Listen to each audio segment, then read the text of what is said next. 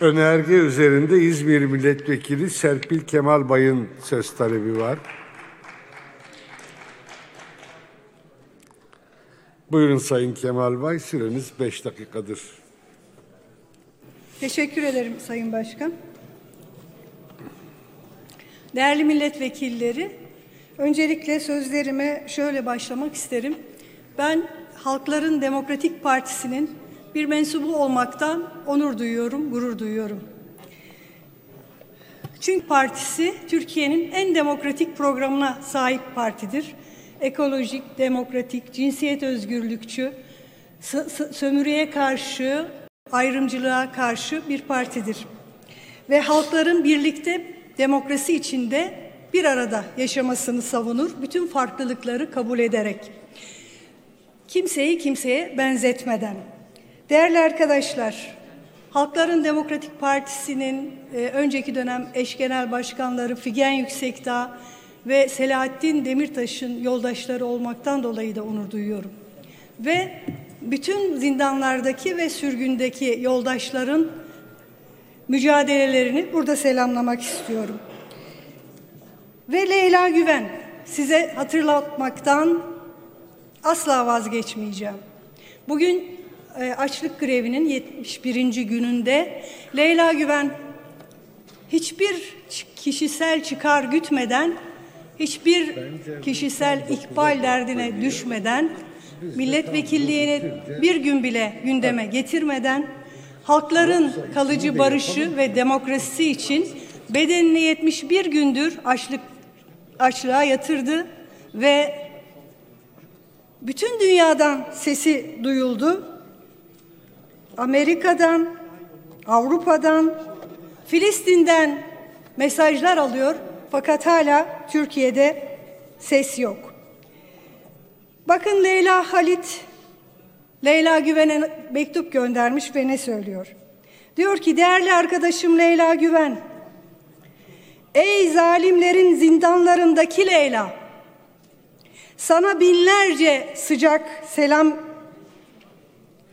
kendi adıma ve Filistinli kadınlar adına devrimcilere yönelik tüm saldırılara karşı sesimi sesine katacağımı söylüyorum. Buradan Leyla Halit'e de selam olsun. Değerli arkadaşlar, tartıştığımız gündem maddesi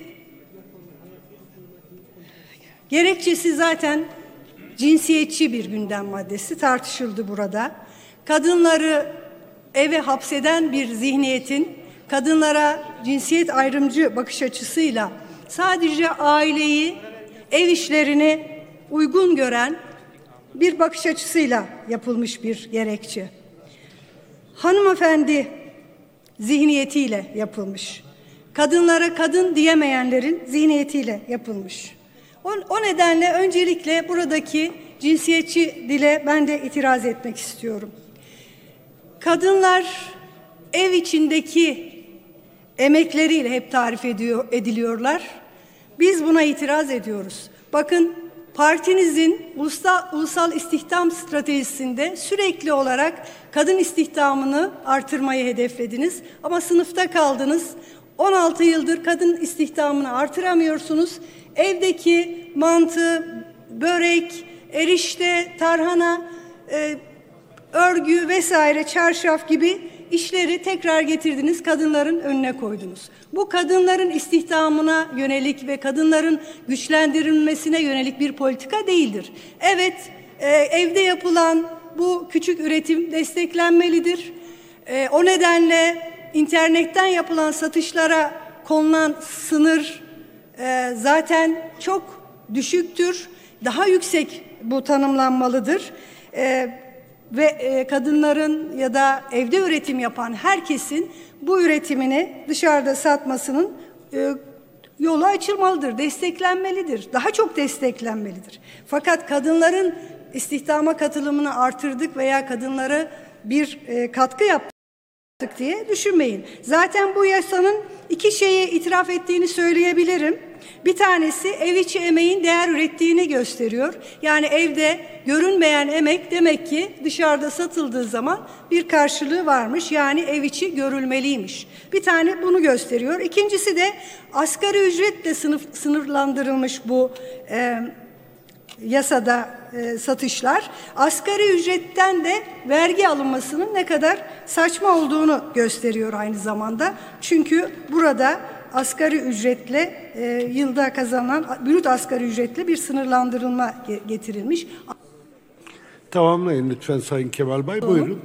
Asgari ücretin de düşük olduğunu ve e, geçinmek için açlık sınırının da altında olan bu rakamın yeterli olmadığının bir başka göstergesi olmuş durumda. Dolayısıyla e, ev içi emek değerlidir. Ev içi emeğin değeri e, tanınmalıdır. E, ev kadınlarına e, sigorta ve sosyal güvence getirilmelidir ve e, evde yapılan üretimler desteklenirken asıl olarak kadınların istihdamı desteklenmelidir. Kadınlar iyi işlere e, kazandırılmalıdır. Bunun için yatırımlar yapılmalıdır. Bunun için destekler yapılmalıdır. Eşit işe eşit ücret, eşdeğer işe eşit ücret e, sağlanarak kadınların e, ücretlerinin e, ayrımcılığa uğraması engellenmelidir. Yine flormar direnişindeki kadınlarda olduğu gibi kadınların çalışma hayatında sendikalı ve güvenceli bir şekilde çalışmasının önü açılmalıdır. Bütün bunları yaptığımız zaman ancak kadınların Teşekkürler Sayın Kemal Bay. Diğer önerge yok diyorum.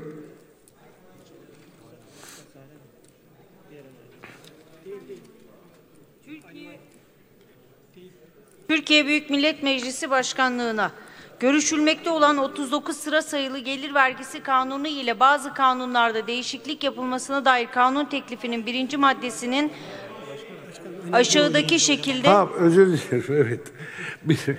Bu ara bir dalgınlık lütfen kusura bakmayın. Önergeyi oylamamız gerekiyor. Onu atladık. Ee, diğer önergeyi sonra okuruz. Önergeyi oylarınıza sunuyorum. Kabul edenler, kabul etmeyenler önerge kabul edilmemiştir. Şimdi diğer önergeyi okumaya devam edelim. Türkiye Büyük Millet Meclisi Başkanlığına görüşülmekte olan 39 sıra sayılı gelir vergisi kanunu ile bazı kanunlarda değişiklik yapılmasına dair kanun teklifinin birinci maddesinin aşağıdaki şekilde değiştirilmesine arz ve teklif ederiz saygılarımızla. Mehmet Bekeroğlu İstanbul, Emine Gülezer Emecan İstanbul, Cavit Ara Antalya, Rafet Zeybek Antalya, Süleyman Girgin Muğla. Madde 1. 31.12.1960 tarihli ve 193 sayılı gelir vergisi kanununun 9. maddesinin 1. fıkrasının 6 numaralı bendinde iş yeri açmaksı- açmaksızın ifadesinden sonra gelmek üzere veya yıl içinde gerçekleştirilen satış tutarı ilgili yıl için geçerli olan asgari ücretin yıllık bütür- brüt tutarından fazla olmamak üzere internet ve benzeri elektronik ortamlar üzerinden ifadesi ilave edilmiştir. Komisyon önergeye katılıyor mu? Katılmıyoruz Sayın Başkan. Önerge üzerinde Mersin Milletvekili Ali Mahir Başarır'ın söz talebi vardır. Buyurun Sayın Başarır, süreniz 5 dakikadır. Genel kurulu saygıyla selamlıyorum. Sözlerime başlamadan önce 15 Ocak 2019 Salı akşamı başlayıp çarşamba devam eden Mersin etkisi altına alan fırtına ve yağıştan dolayı zarar gören Mersin halkını hemşerilerime geçmiş olsun diliyorum. Umarım gerek meclis gerek iktidar gerekli özeni gösterir. Mersin'i afet bölgesi olarak ilan eder. Çünkü binlerce dönüm tarım arazisi sular altında kaldı. Değerli milletvekilleri bugün gelir vergisi kanunu ilgili konuşacaktım ama dün Milli Eğitim Bakanlığı'nda çok ilginç bir olay gerçekleşti. Bu trajikomik olayı sizlerle paylaşmak istiyorum. Olayı Mektepli Gazete adlı milli eğitimle ilgili, eğitimle ilgili haber yapan internet sitesinden aldık, araştırdık. Gerçekten dehşete düştük. Vatandaşın biri çıkar, Milli Eğitim Bakan Yardımcısı Reha Denemeç'e bir dilekçe verir. Kendisini de burası çok önemli. Anayasa Demokrasi Hukuk Konseyi'nin Yüksek İstişare Konseyi Başkanı olarak tanıtır. Şekilli bir STK. Dilekçede şunu talep eder. 20 Ocak 2019'dan 31 Ocak 2023'e kadar Milli Eğitim Bakanlığı'nın il ilçelerdeki salonlarının kendisine tahsis edilmesini ister derneğe. Peki bunu ne istiyor? Üç sebep ortaya koyuyor. Bir, gençleri gittikçe yaygınlaşan uyuşturucu batağından kurtarmak, bilinçlendirmek. Güzel. İki, kadına olan şiddetin yaygınlığını azaltmak, gençleri bilinçlendirmek. Üç, tırnak içinde söylüyorum bana ait değil. En önemli gelen sebep bu. Sayın Demokrasi Kahramanı 15 Temmuz Kurtuluş Savaşı Başkomutanı Yiğit Lider Sayın Cumhurbaşkanımız Recep Tayyip Erdoğan'ın 17 yıllık icraatlarını bu salonlarda çocuklara anlatacakmış. Tabii bakan yardımcısı Recep Tayyip Erdoğan ismini görünce hiçbir şey araştırmadan izni veriyor. Önce genel müdüre yazı yazıyor. Bakın yazı burada. İsmet Çolak genel müdür. İncelemeden bu yazıyı alıyor. Tüm il milli eğitim müdürlüklerine yollanıyor. Milli eğitim müdürlükleri il ilçeye yolluyor. Ve Bursa Eğitim İş Başkanı diyor ki bu adam kim? Bu dernek kim? Bir bakalım. Ne bakan yardımcısı akıl etmiş, ne genel müdür akıl etmiş, ne illi eğitim, milli eğitim müdür yardımcıları, müdürleri akıl etmiş. Ne çıkıyor ortaya? Mehmet Sarı Aslan teminatsız, ipoteksiz, kefilsiz kredi dağıtan, devlet ilişkileri kullanan bir adam. Peki böyle bir STK var mı? Asla yok. Bu kişi bakın belediye başkanlarıyla da görüşüyor. Herhalde onlara da kredi sağlıyor. Bu kişi AK Partili bakanlarıyla da görüşüyor. Mesela Ataşehir Belediye Başkanı adayınızla görüşmüş. Şimdi devlette gelinen nokta bu. Maalesef devlet bu, bu durumda. Neden bu durumdayız? Neden liyakat yok? Neden etik yok? Neden disiplin yok? Neden hiyerarşi yok? Çünkü çünkü bu ülkeyi bakanlar yönetmiyor. Sarayın akrabaları bakan yardımcısı olmuş. Onlar bakanları yönetiyor. Eğer ki bir devlette etik yoksa, liyakat yoksa, disiplin yoksa, bir tek isim her şeyi yapmaya yetiyorsa bu devlet bu hale gelir. Bu dernek bir terör örgütü olabilirdi. Çocukları orada toplayıp o çocukları öldürebilirdi. Terör propagandası yapabilirdi. Neden araştırılmıyor? Çağdaş bir devlette onurlu idarecilerin olduğu bir ülkede bu bakan istifa eder. Hadi istifa etmedi. Olayı araştırır. O bakan yardımcısını görevden alır. Tüm milliyetin müdürlerine bunun hesabını sorar. Ama ama ben bunu göremiyorum. Bu ülkede tek bir isim her şeyi yapmaya yetiyor. Bakın bu kişi kredi pazarlayan AK Parti'nin taşeronlarından bir tanesi. Bunu eğitim işin başkanı tesadüfen çözüyor.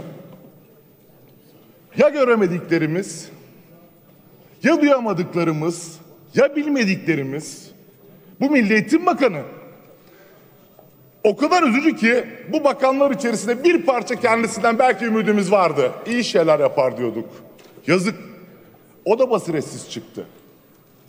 O da Buyurun Sayın Başarır, tamamlayın sözlerinizi. Bence bu ülkeyi yönetenler hatalarından dolayı artık hesap vermeli. Hesap vermek zorunda. Sizin hatalarınız yüzünden bu ülkenin insanları, gençleri, çocukları zarar görmemeli. Olay net. Bakın evraklarla açıklıyorum. Biz çocuklarımızı, bu nesli, evlatlarımızı kime te- teslim ediyoruz? Kimin elinde? Ne olduğu belli olmayan insanlar geliyor, yazıyı alıyor, salonlara gelecek, gençlere konuşma yapacak. Bence lütfen bu olayı araştırın. Bakana bu olayın hesabını sorun. En azından bu yazıyı yazan bakan yardımcısını görevden aldırın. Teşekkür ediyorum, saygılar sunuyorum. Teşekkürler Sayın Başarır. Önergeyi oylarınıza sunuyorum. Kabul edenler, etmeyenler önerge kabul edilmemiştir. Diğer önerge yok diyorum.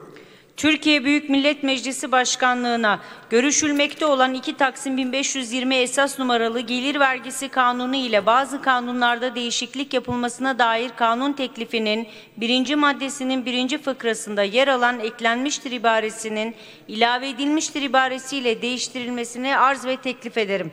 Mehmet Metanet Çulhaoğlu Adana, Fahrettin Yokuş Konya, Arslan Kabukçuoğlu Eskişehir, İsmail Koncuk Adana, Yavuz Ağır Alioğlu İstanbul. Komisyon önergeye katılıyor mu? Katılmıyoruz Sayın Başkan. Önerge üzerinde Isparta, Isparta Milletvekili Aylin Cesur konuşacaktır. Buyurun Sayın Cesur, süreniz 5 dakikadır. Sayın Başkan, değerli milletvekilleri, genel kurulu saygıyla selamlıyorum. Birinci maddede evde üretim yapan kadınlara dönük gelir vergisi kanununda yapılması öngörülen düzenleme olumlu gibi gözükse de eleştirilecek yönleri var. Ülkemizde krizin ve işsizliğin en çok vurduğu kesimlerin başında kadınlar var. Kadın istihdamındaki sıkıntıların toplumsal cinsiyet koşullarını göz ardı eden bir düzenleme ile geçiştirilmesini doğru bulmuyoruz. Kadın istihdamı bu şekilde ele alınmaz. Kadın istihdamı ve kadın emeğinin yalnızca evde havlu, çarşaf, çeyiz eşyası üretimine indirgenmesi son derece yanlıştır. Bu cinsiyetçi bir yaklaşımdır. Siyasette kadını araç olarak görmek ve onlarla ev ev oy toplayıp toplamak değildir kadına verilecek önem. Kadınlara hak ettikleri önemi devlet olarak devleti yöneten sizler vereceksiniz. Bunun için de önce kadınlara istihdam sağlayacaksınız. Bugün 10 kadından 7'si işsiz maalesef bizim ülkemizde. TÜİK'in resmi verilerine göre her 10 kadından yalnızca 3'ü çalışıyor ve yarıya yakını da bunların kayıt dışı. İşkurum verilerine göre 2017'de 1 milyon 275 bin, 2018'de 1 milyon 663 bin kayıtlı kadın işsiz var. Şimdi tüm veriler işsizliğin en çok kadınları etkilediğini ve kadınların bütün işsizlik türlerinde erkeklerden daha fazla işsiz kaldığını göstermekte. Kadın istihdamında işsizliğin e, istihdamının artırılması ve işsizliğin azaltılması için iş gücü piyasalarındaki cinsiyetçi uygulamalara son vermek gerekiyor. Evinde çocuğu üşümesin diye kendine ekmek parası kazanan kadının alacağı ekmeğe kadar uzandıysa elleriniz hep beraber uçurumun dibine doğru gidiyoruz demektir. Çok üzgünüm. İşsizlik demişken TÜİK'in Ekim ayındaki işsizlik oranları da bu hafta açıklandı. Bu güzel ülkede işsizlik artık yüzde 11.6. Siz her fırsatta kriz yok deyip vatandaşa sağladığınız iş imkanlarını anlatırken vatandaş kan ağlıyor, ağlamakla da kalmıyor, e, intihar notları koyuyor cebine ve intihara kalkışıyor, bazen de hayatını kaybediyor. Siz yeni Türkiye deyin, ben sizden sonraki Türkiye diyeyim. Siz geldiğinizde olan sorunlar aynen duruyor, bu da yetmiyor ve maalesef işsizlik yüzde 11.6'ya gelmiş vaziyette. Kayıtlı işsiz sayısı 501 bin arttı. 3 milyon 788 bin resmi rakamlara göre gerçekte 6,5 milyon civarında. Ve genç nüfusta da bu 15-24 yaş 3 puan arttı işsizlik oranı ve yüzde 22.3. Şimdi 17 yıllık iktidarınızda işte ülkeyi getirdiğiniz tablo bu. Şimdi 1 milyon üniversiteli işsizin olduğu bir tablo bu aynı zamanda. Ve onlar adına ben bu kürsüden sizlere soruyorum. Üniversite mezunu işsizlerin hali ne olacak? Ne olacak? İş arayan her dört kişiden biri üniversite mezunu ve üniversite mezunu işsiz sayısı, sayımız 2004'te 308 binken bugün 1 milyon 50 bin. Hazine ve Maliye Bakanımız 2018 yılı enflasyon hedeflerini tutturduk diyor. Yıllık enflasyon yüzde 20.8 olacaktı. 20 Hatta e, bundan memnuniyet ifade ediyor. Şimdi ben danışmanları kendisine galiba bilgi vermediler. Burada yardımcı olmak istiyorum. Belki faydası olabilir. Bizde 20.3 hani bu gelişmiş ülkelerde ve gelişmekte olan ülkelerde enflasyondan memnuniyet yüzde 1.4-3.8 arasında olduğu zaman oluyor. Sadece Arjantin'de yüzde 48 ki o da IMF'nin kapısına dayanmış vaziyette batmış ve IMF'ye sığınmış. Şimdi zaten bizdeki ekonomistlere göre yüzde 29 civarında enflasyonumuz da dünyanın en kötü enflasyonu olmaya giden bir durumdayken bununla nasıl övünülür ben bilemem. Benim bildiğim halkımızın artık bunlara karnı tok. Çünkü halk karnı aç ekmek istiyor. Neden bu kadar kötüleşti bu tablo biliyor musunuz? Çünkü Türkiye'de sermaye güvencesi, hukukun üstünlüğü ve düşünce özgürlüğü yok. Bunu siz yaptınız. Şu an ekonomide yaşadığımız bu kriz 1994 ve 2001 krizine benzemiyor. O zaman sabit kura devalüasyon yapılmıştı. Alınan önlemlerle bir yıl sonra büyüme başlamıştı ülkede. Şimdi bu reel sektörde borç ödeme krizi olduğu için Türkiye'de ağır bir borçlanma var ve yüksek faizle bulabileceğiniz borç olacak eğer bu da bulabiliyorsanız. Görünen köy kılavuz istemez değerli arkadaşlar. 31 Mart'tan sonra Sayın Başkan. Hah, buyurun. Buyurun Teşekkür Sayın ederim. Cesur tamamlayın lütfen. 31 Mart'tan sonra bu gidişatla tarihimizin en ağır ve zorlu kemer ve acı reçetenin de millete ödetilmesine doğru gidiliyoruz ne yazık ki. Bu harcama furyası ile de ekonomik krizin ateşine de benzin döküyorsunuz. Bu da benden söylemesi. Tekel'in satışı, Telsim'in satışı, Petkim'in satışı, limanların satışı, madenlerin satışı, Türk Telekom'un satışı, orman arazilerinin satışı, kağıt fabrikalarının satışı, şeker fabrikalarının satışı, tank palet fabrikasının satışı ses getirmiyor. Değerli arkadaşlar, ne oldu milli değerlerimize? Tank palet fabrikası demek savunma sanayimiz demek. O da milli savunma sanayimizin göz bebeği demek. Göz bebeği. 25 kuruşluk poşetten alacağınız 15 kuruşa muhtaç ettiğiniz Türkiye'de biz bunları önemsiyoruz. Bunlar ülkemizin atar damarları ve biz önemsiyoruz. Önemsemekle de kalmıyoruz. Biz bunların sahipçisiyiz. Hepinizi sevgiyle, saygıyla selamlıyorum. Teşekkürler Sayın Cesur. Önergeyi oylarınıza sunuyorum. Kabul edenler, etmeyenler önerge kabul edilmemiştir. Maddeyi oylarınıza sunuyorum. Kabul edenler, etmeyenler birinci madde kabul edilmiştir. Birleşime 20 dakika ara veriyorum. Tekirdağ Milletvekili İlhami Özcan Aygün konuşacaktır. Buyurun Sayın Aygün, süreniz 5 dakikadır. Teşekkür ederim Sayın Başkanım. Sayın Başkan, değerli milletvekilleri, genel kurulu saygıyla selamlıyorum. 39 sıra sayılı gelir vergisi kanunu ve bazı kanunlarda değişiklik yapılmasına dair kanun teklifinin ikinci maddesi üzerine Cumhuriyet Halk Partisi grubu adına söz almış bulunuyorum. Bu yasa üzerinde konuşurken önce 2019 yılı bütçesinin bütçesini de sizlere hatırlatmak zorundayım. Çünkü 2019 yılı bütçesi yürütmenin bütçeyi vergi zamlarını yasladığı bir bütçedir. Yani dar gelirli ve orta gelirli ezip soluk alamaz hale getirdiğiniz bir bütçedir. Aslında sizler getirdiğiniz bu düzenleme üzerinden 31 Mart yerel seçimlerine kadar zaman kazanmaya çalışıyorsunuz. Çünkü ne yaparsanız yapın krizi gizleyemediğiniz, gizleyemediğinizin de sizler farkındasınız. Artık ekonomik kriz vatandaşımızın sırtına binmiş, gıda enflasyonu almış başını gitmiştir. OECD ülkeler içerisinde gıdayı en pahalı tüketen ikinci ülkeyiz. Buraya gelmeden önce İstanbul al fiyatlarına baktım. Manzara korkunç. Taze fasulyenin kilosu 20 lira. Sarımsağın kilosu 25 lira. Taze soğanın kilosu 8 lira. Sivri biberin kilosu 10 lira. Domatesin kilosu 5 lira. Kuru soğanın kilosu 4 lira. Beyaz lahanın kilosu 5 lira. Evet gülüyorsunuz Sayın Bakan ama rakamlar bugünkü rakamlar. Yani mutfakta yangın var. Yürütme ne yapıyor? Yangını görünce ithalata başvuruyor.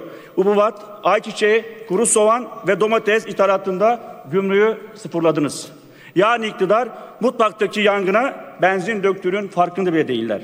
Acı olan bu. Çünkü ithalat yaptıkça gıda fiyatlarını arttırıyorsunuz. Uyanın artık. Uykudan kalkın. Bakın dünyada eti en pahalı tüketen ve bu yüzden en az tüket et yiyen Avrupa ülkesi biziz. Şimdi halkımızı da sebzede yiyemeyecek duruma getirmiş, getirmiş hale geldiniz. Fasulyenin kilosu et fiyatını yaklaştı. Vatandaşa sebzeyi de çok görüyorsunuz. Yazıktır, günahtır bu ülkeye. İktidar bu acı tabloyu gizlemek için Ali Cengiz oyunları yapıyor. Ama bilesiniz ki ne yaparsanız yapın çift haneli işsizliği, çift haneli faizleri, çift haneli enflasyonu gizleyemiyorsunuz. Reel durum ortada. Bütün TÜİK başkanlığını alsanız dahi yine sonuç değişmeyecek. Gerçeklerin mutlaka ortaya çıkma gibi bir uyu vardır. Getirdiğiniz teklif, iki, teklifin ikinci maddesinde sözüm ona kafa karışıklığına gideriyor- gideriyorsunuz. 193 sayılı gelir vergisi kanunun 25. maddesinin birinci fıkrasının birinci bendine açıklık getiriyorsunuz. İş, getirerek işsizlik ödeneği ve işe başlatmama tazminatı gelir vergisi kapsamı dışına çıkıyor. Ben baktım hiçbir fark göremedim. Zaten işsizlik ödeneği ve işe başlatmama tazminatı gelir vergisi kapsamı dışındaydı. Belli ki vatandaşa güzellik yapıyormuş gibi görünüyorsunuz ama oyun içerisinde oyun yapıyorsunuz. Bu maddeyle yaptığınız tek şey parantez içi yazılan hükmü parantezin dışına almış olmanızdır. Gizli oyunlarla vatandaşın gelirine el koyup sonra kolaylık getiriyor gibi göstermeye çalışıyorsunuz. Her konuda aynı oyunları oynuyorsunuz. Benzinde indirime gidiyor. Bir hafta sonra indirimi tekrar geri alıyorsunuz. Soğan fiyatlarını düşürüyor. Bir hafta sonra domates ve fasulye fiyatlarını yükseltiyorsunuz. Yani aslında mutfakta yangın dinmiyor, büyüyor. Evet değerli milletvekilleri, buradan iktidara sesleniyorum. Bir şey yapacaksanız böyle göstermelik değişiklikler yerine vatandaşın karnını doyuracak düzenlemeler yapalım. Ben iki konuda yasa teklifi verdim. Dar gelirli vatandaşın vatandaşın yanında, yanında iseniz, orta halli vatandaşın yanında iseniz gelin Türkiye Büyük Millet Meclisi Başkanlığı'na sunduğum yasa tekliflerini kanunlaştıralım. Bu tekliflere lütfen destek verin. Birinci teklifimiz evet çiftçimizin Ziraat Bankası ve Tarım Kredi Kooperatiflerinden aldığı vadesi gelmiş ve ödenmemiş kredilerini yapılandıralım. Faizlerini silelim. Ana parayı 2023 yılına kadar 5 yıllık taksitlere bölerek bizim çiftçiye olan borcumuzu bu şekilde ödemiş olalım. Ama siz ne yapıyorsunuz? Çiftçiyi ferhat ederken kulaklarınızı tıkayıp sıfır gümrüklü ithalat kararı alıyorsunuz. Kendi çiftçinizi açlığa mahkum edip yabancı çiftçiyi fonluyorsunuz. Siz kimden yanasınız? Üretimden mi, ithalattan yana mısınız? Diğer kanun teklifimizde esnaf üzerine. Derin esnafın küçük ve orta ölçekli işletmenin bankalardan çektiği kredi vadesi gelmiş çekleri sebebiyle yaşadığı sıkıntıları giderelim. Büyük işletmeler konkordato yoluyla kendisini koruyor ama esnaf maalesef koruyamıyor. O zaman esnafın ve küçük ve orta ölçek işletmecinin borçlarını yapılandırıp kara listeye giren kayıtlarını silelim. Sicil affı çıkaralım. Kredi kartlarını yapılandırmak yetmez. Sicil affı gerekiyor. Er, hem Merkez Bankası'nda hem de Bankalar Birliği kayıtlarını silelim. Esnafın önünü açalım. Sözlerime son verirken Yüce Meclisi saygıyla selamlıyorum. Teşekkür ederim. Teşekkürler Sayın Aygün. Önergeyi oylarınıza sunuyorum. Kabul edenler, etmeyenler önerge kabul edilmemiştir. Diğer önerge yok diyorum. Türkiye Büyük Millet Meclisi Başkanlığına görüşülmekte olan 2 Taksim 1520 esas numaralı gelir vergisi kanunu ile bazı kanunlarda değişiklik yapılmasına dair kanun teklifinin ikinci maddesinin birinci fıkrasında yer alan değiştirilmiştir ibaresinin yeniden düzenlenmiştir ibaresiyle değiştirilmesini arz ve teklif ederim. Mehmet Metanet Çulhaoğlu Adana, Fahrettin Yokuş Konya, Arslan Kabukçuoğlu Eskişehir, Yavuz Ağır Alioğlu İstanbul, İsmail Koncuk Adana. Komisyon önergeye katılıyor mu? Katılmıyor Sayın Başkan. Önerge üzerinde Adana Milletvekili Mehmet Metanet Çulhaoğlu konuşacaktır. Buyurun Sayın Çulhaoğlu, süreniz 5 dakikadır.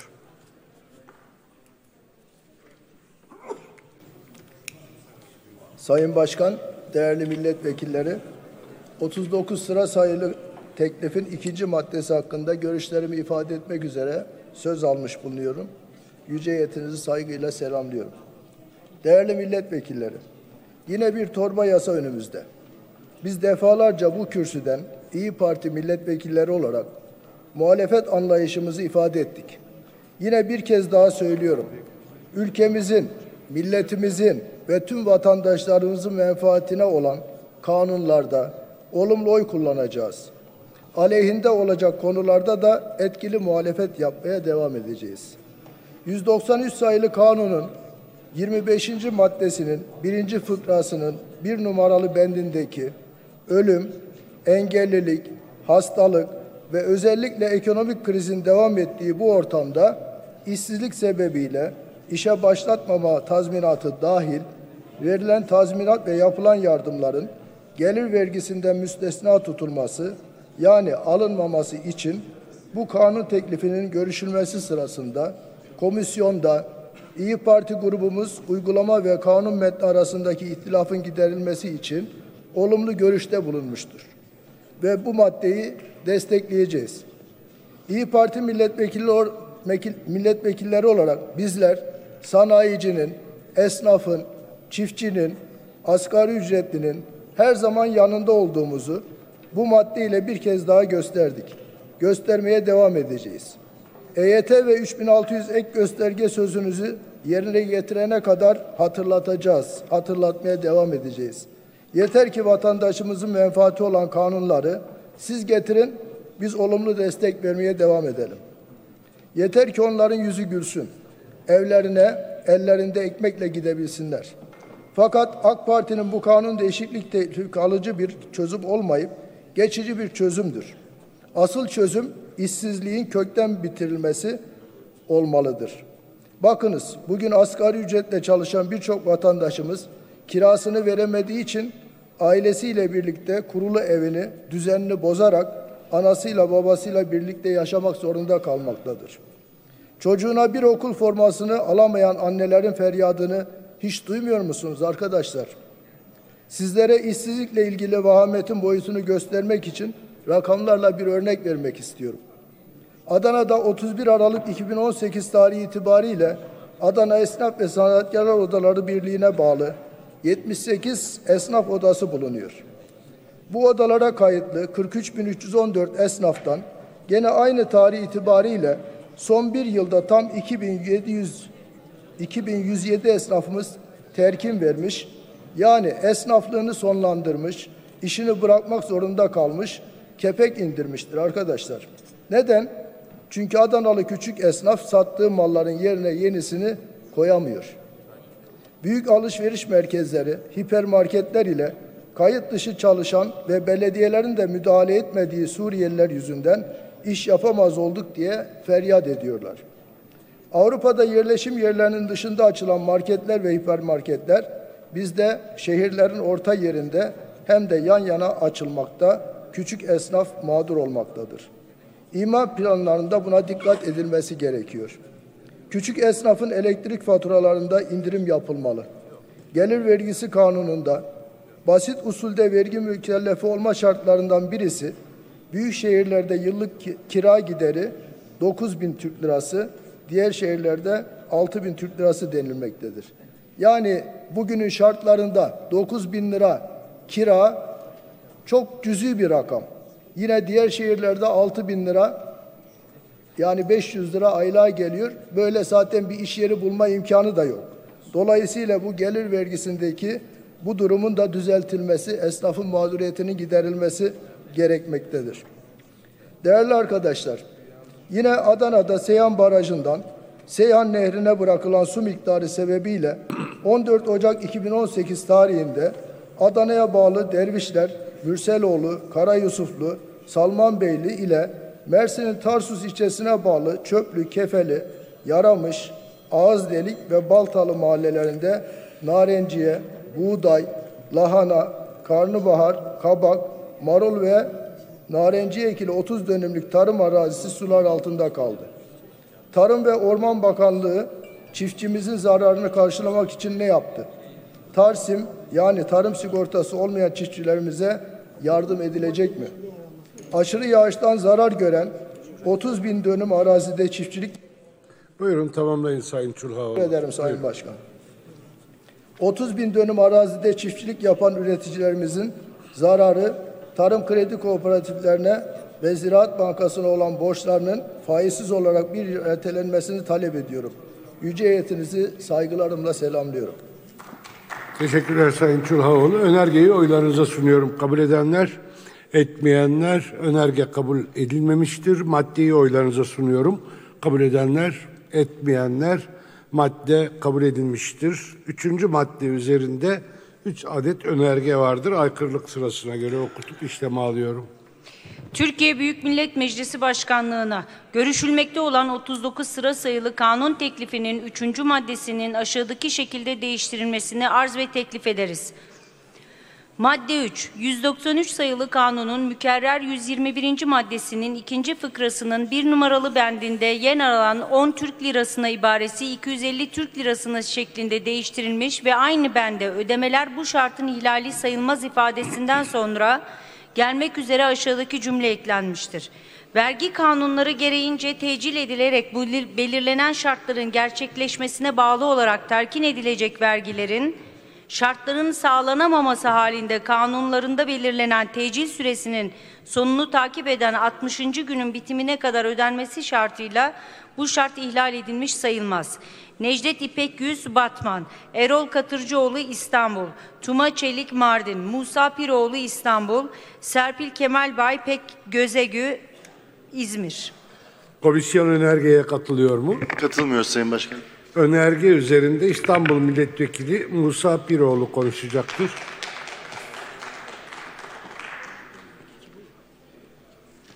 Buyurun Sayın Piroğlu, süreniz 5 dakikadır.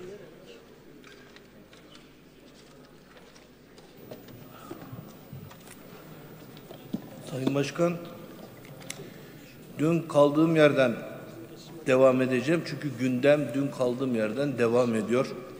Bu ülkenin talihsizliği de devam ediyor. Dün demiştim ki ülkenin çoğunluğunu oluşturan yoksulların seçtiği meclis çoğunluğu ne yazık ki bu yoksul çoğunluğun sesini kulaklarını tıkamış, onları görmezden geliyor. Vergileri konuşuyoruz.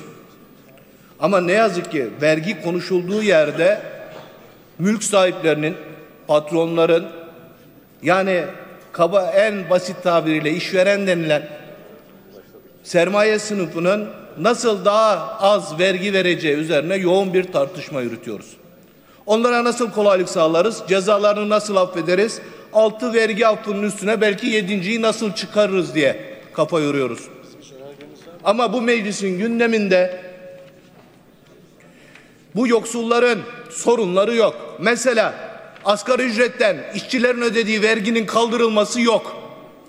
Bu meclisin gündeminde zorunlu tüketim vergisinin özellikle zorunlu tüketim maddelerinde olan özel ÖTV'nin kaldırılması yok.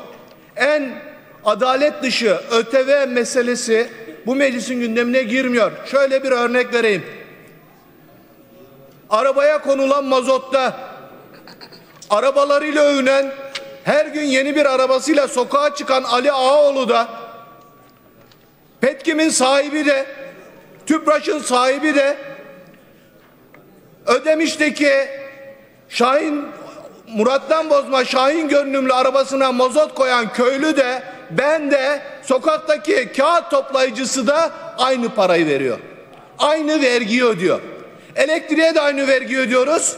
Yediğimiz yemeğe de kullandığımız telefona da aynı vergi ödüyoruz. Biri rezidansında yaşıyor, öbürü gece konusunda yaşıyor. Doğalgazda aynı vergi ödüyoruz. Ve birinin doğalgazı yatırılmadığında aynı gün kesiliyor, öbürünün kapısına kimse dayanamıyor. Ve bu meclis bunu konuşmuyor.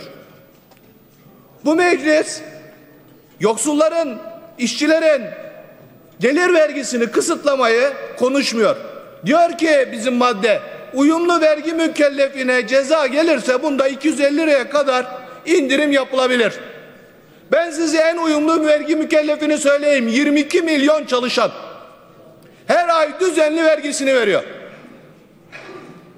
Düzenli olarak her ay bu vergisini veren insanların yani bu ülkenin bütün yükünü sırtında taşıyanların vergisinde herhangi bir indirime gidilmiyor.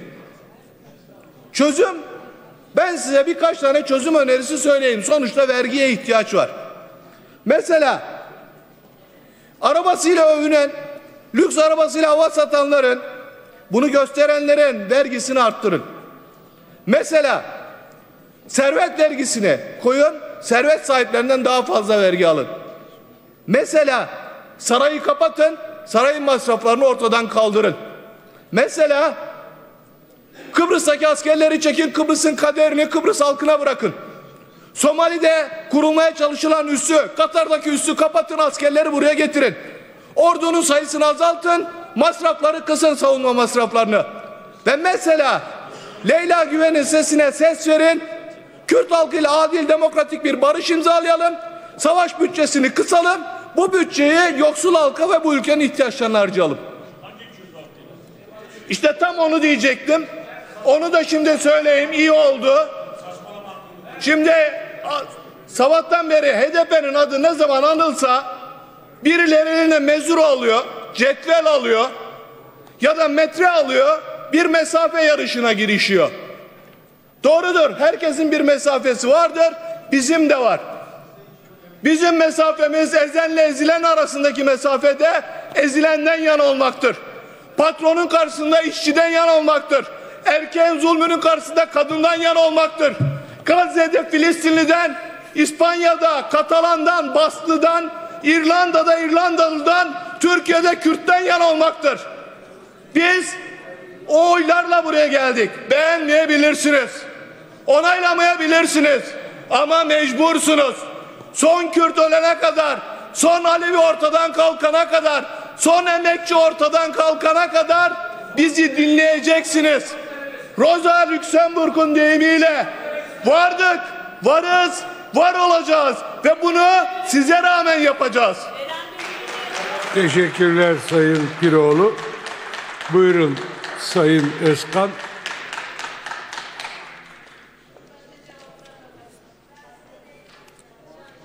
Teşekkürler Sayın Başkan. Türkiye Cumhuriyeti Devleti 81 milyon vatandaşımızın anayasa önünde eşitlik anlayışına göre vardır ve var olmaya devam edecektir. Kürdüyle, Türküyle, Lazıyla, Çerkeziyle 81 milyon kardeşimiz bu milletin, bu devletin eşit vatandaşıdır. Onun için bunu bir e, bunu asla kabul etmiyoruz bu ifadeyi. Kürtlerle adil barış imzalayın ifadesini kabul etmediğimiz ifade ediyor. Kürtlerin bu ülkenin asli unsuru, vatandaşı olduğunu inanıyoruz. Bu ülkede tek bir sorun vardır. O da terör sorunudur. Terör sorununu da yine milletimizle 81 milyon kenetlenerek bertaraf edeceğiz. Bu terör sorunundan en fazla mağduriyeti de başta Kürt vatandaşlarımız olmak üzere 81 milyon aziz milletimizin kardeşliği görmüştür. Bu zararı ilahi nihaya bertaraf ederek adil, barış bir anayasal düzenimizi yine demokratik hukuk devleti Tamamlayın. Teşekkürler. Buyurun Sayın Kerestecioğlu. Size de söz vereceğim Sayın Altay. Sayın Başkan, terör terör diyerek her şeye terör muamelesi yaparak ve insanları sürekli terörist diye adlandırarak nereye gelindiğini gördük. Bugün ne adil bir seçime gidildiğine inançları var insanların ne de mahkemelerde yargılandıkları zaman adil olarak yargılanacaklarına. Ama burada bir şeye dikkat çekmek isterim. Tutanaklara da bakacağım. Sayın Eronat oradan bir laf attı ve cevap vermeyin hasta dedi. Ne gibi bir hastalıktan bahsediyor acaba kendisi? Böyle bir sözü derhal geri alması ve özür dilemesi gerekiyor burada. Öncelikle bunu sizden rica ediyorum. Çünkü engellenirsek engelliyiz diyor engelli insanlar. Engellilik bir hastalık değildir ama kastettiği başka bir şeyse zaten Sözlerinizi tamamlayın. O zaman derhal özür dilemesi gerekiyor. Bu meclisi artık bu şekilde karıştırmaktan vazgeçmesi gerekiyor. Herkesin ifade özgürlüğü vardır ve Musa vekilimizin dediği gibi buna katlanmak zorundasınız. Biz buraya seçilerek geldik. Sizin inayetinizle falan gelmedik. Seçim çalışması yaptık. Gene yapacağız ve gene seçilerek geleceğiz. Bunu böyle bilin ve bu şekilde davranın. Kimsenin öyle bize mezuralarla ayar vermesine de ihtiyacımız yok. Bunu tekrar herkese iade ederiz. Herkes elindeki mezurayı kendisine saklasın. İnsan haklarından, kadın haklarından, barıştan yana olan kim? Bu halk bunu gayet iyi biliyor. Teşekkür ederim. Sayın Eronat'a söz vereyim sonra size vereyim Sayın Altay. Buyurun Sayın Eronat. Sayın Başkan, değerli milletvekilleri, evet ben grup başkan vekilime cevap vermeyelim. hasta dedim. Çünkü düşüncesini hastalıklı buluyorum. Bu ülkede son Kürt ölene kadar veya e, söz e, bir dakika son Kürt ölene kadar lafıyla Kürtleri e, bu ülkeden ayrı tutmakta ayrı tutma zihniyetini bir ayrılıkçı zihniyet olarak görüyorum. Ben de bir Kürt olarak bunu kesinlikle reddediyorum. Ben bu ülkenin asli unsuruyum. Kürtlerle barış imzalamak ne demek? Biz bu ülkenin vatandaşıyız ve bu ülkenin sahibiyiz. Kürtlere karşı bu ayrımcılığınız nedir? Sayın Altay Ben diyaframdan dolayı ayakta konuşmayı tercih ediyorum. nasıl isterseniz. Şimdi Sayın Başkan, Sayın Milletvekilleri, ben siyasi hayatımı da, özel hayatımı da hiçbir felsefi akıma bağlı kalmaksızın atasözlerine ve özdeyişlere göre tanzim ederim. Bundan da hep fayda bulmuşumdur. Şimdi bir söz vardır. Söyleyene değil, söyletene bak denir. Şimdi hiç şüphesiz, hiç şüphesiz. Son Kürt ölene Son Kürt ölene kadar, son Alevi ölene kadar, son emekçi ölene kadar mücadelemiz devam edecek sözünde işte o söyletene bak mesajı var. Ne Kürt ölsün, daha ne söyleyeceğimi dinlemeden tahammülünüz kesildi ya. Bir de demek ki tamamını söylesem burası karışacak. Bu Kandil'le HDP kadar Tayyip Erdoğan'ın da ilişkisi vardır. Evet, evet, vardır, vardır. Belki de fazladır. Fazladır. Konuşalım. İsterseniz sabaha kadar ben bir şey söyleyeyim ya. Ya konuşmama tahammül edemeyen bir çoğunluk partisiyle karşı karşıyayız ya. Açın mikrofonu arkadaşlar buyurun. Bir dinleyin arkadaşlar. Fa- istifade edersiniz. Şimdi bu ülkede efendim Kürtler de bizim kardeşimiz. Kürtler de bu millette, bu ülkede birinci sınıf demek bile Kürtleri ikincilleştirmektir. Bu aynı şey Aleviler için de geçerlidir. Böyle bakarsak meseleyi çözeriz. Böyle bakmazsak biz burada didişirken memleketin dört bir yanında evlatlarımız ölür. Kararı verecek olan da bu meclistir. Bu kadar basit. Ne demek Kürtler de bu milletin ya da bu ülkenin asli unsurudur? Ya e zaten öyle. Bunu söylemeye gerek var mı? Ama bu ülkede geçende de söyledim. Bu ülkede bir zaman Kürtçe mektup yazmak, Kürtçe şarkı söylemek yasak idi. Bu ülkede bu ülkede hala hala Aç, açalım arkadaşlar.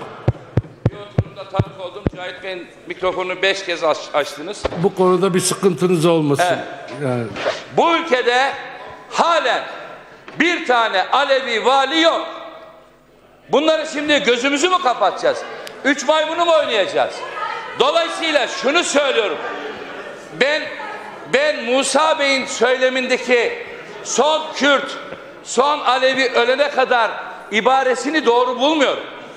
Doğru bulmuyorum. Ama ama bunu söyleten kafayı da doğru bulmuyorum. Teşekkür ederim. teşekkürler. Sayın Altay, Sayın Kerestecioğlu.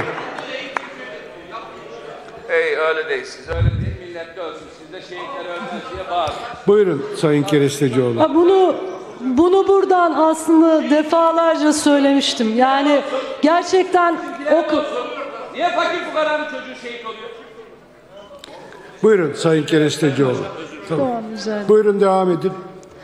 Evet bunu defalarca aslında burada ifade etmiştim. Hakikaten e, burada hamaset yapmak çok kolay. Yani burada siz yoksul olmadığınızda kalkıp başkalarının yoksulluğunu göremezsiniz ya da bir şey yaptığınızda onlar için bir şey yapmış zannedersiniz kendinizi. Orada askerler ölür, gençler ölür ama siz buradan konuşurken rahat koltuklarınızda çok rahat konuşursunuz. Gerçekten bu da böyledir. Öbür tarafta Ahmet Hani'nin heykeli yıkılır. Siz dersiniz ki biz asli unsuruz, biz Kürtler bizim kardeşimizdir. Kardeş kardeşimizdir demek de bir ikincileştirmedir aslında ve Tahir Elçi Parkı'nın adını değiştirmek de aslında hiç de eşit olmadığınızı gösteren bir şeydir. Ana dilde eğitim hakkı için bir basın açıklaması yapın. Devam edin Sayın Kerestecioğlu. Yüzünüze gaz sıkarlar.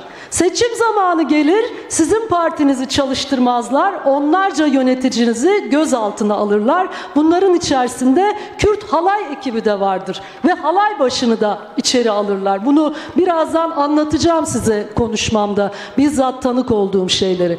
O yüzden kardeşiz demek hani gerçekten e, aslında olmadığınızı ifade eden bir şeydir. Eşit yurttaşlık başka bir şeydir. Eşit yurttaşlığın prensipleri vardır, ilkeleri vardır. Öyle hamasetle kardeş olunmaz, hamasetle şehit edebiyatı yapılmaz. Gerçekten barış istiyorsanız bunun için uğraşırsınız. Savaş yok diyerek inkar etmekle de barış sağlanmaz maalesef.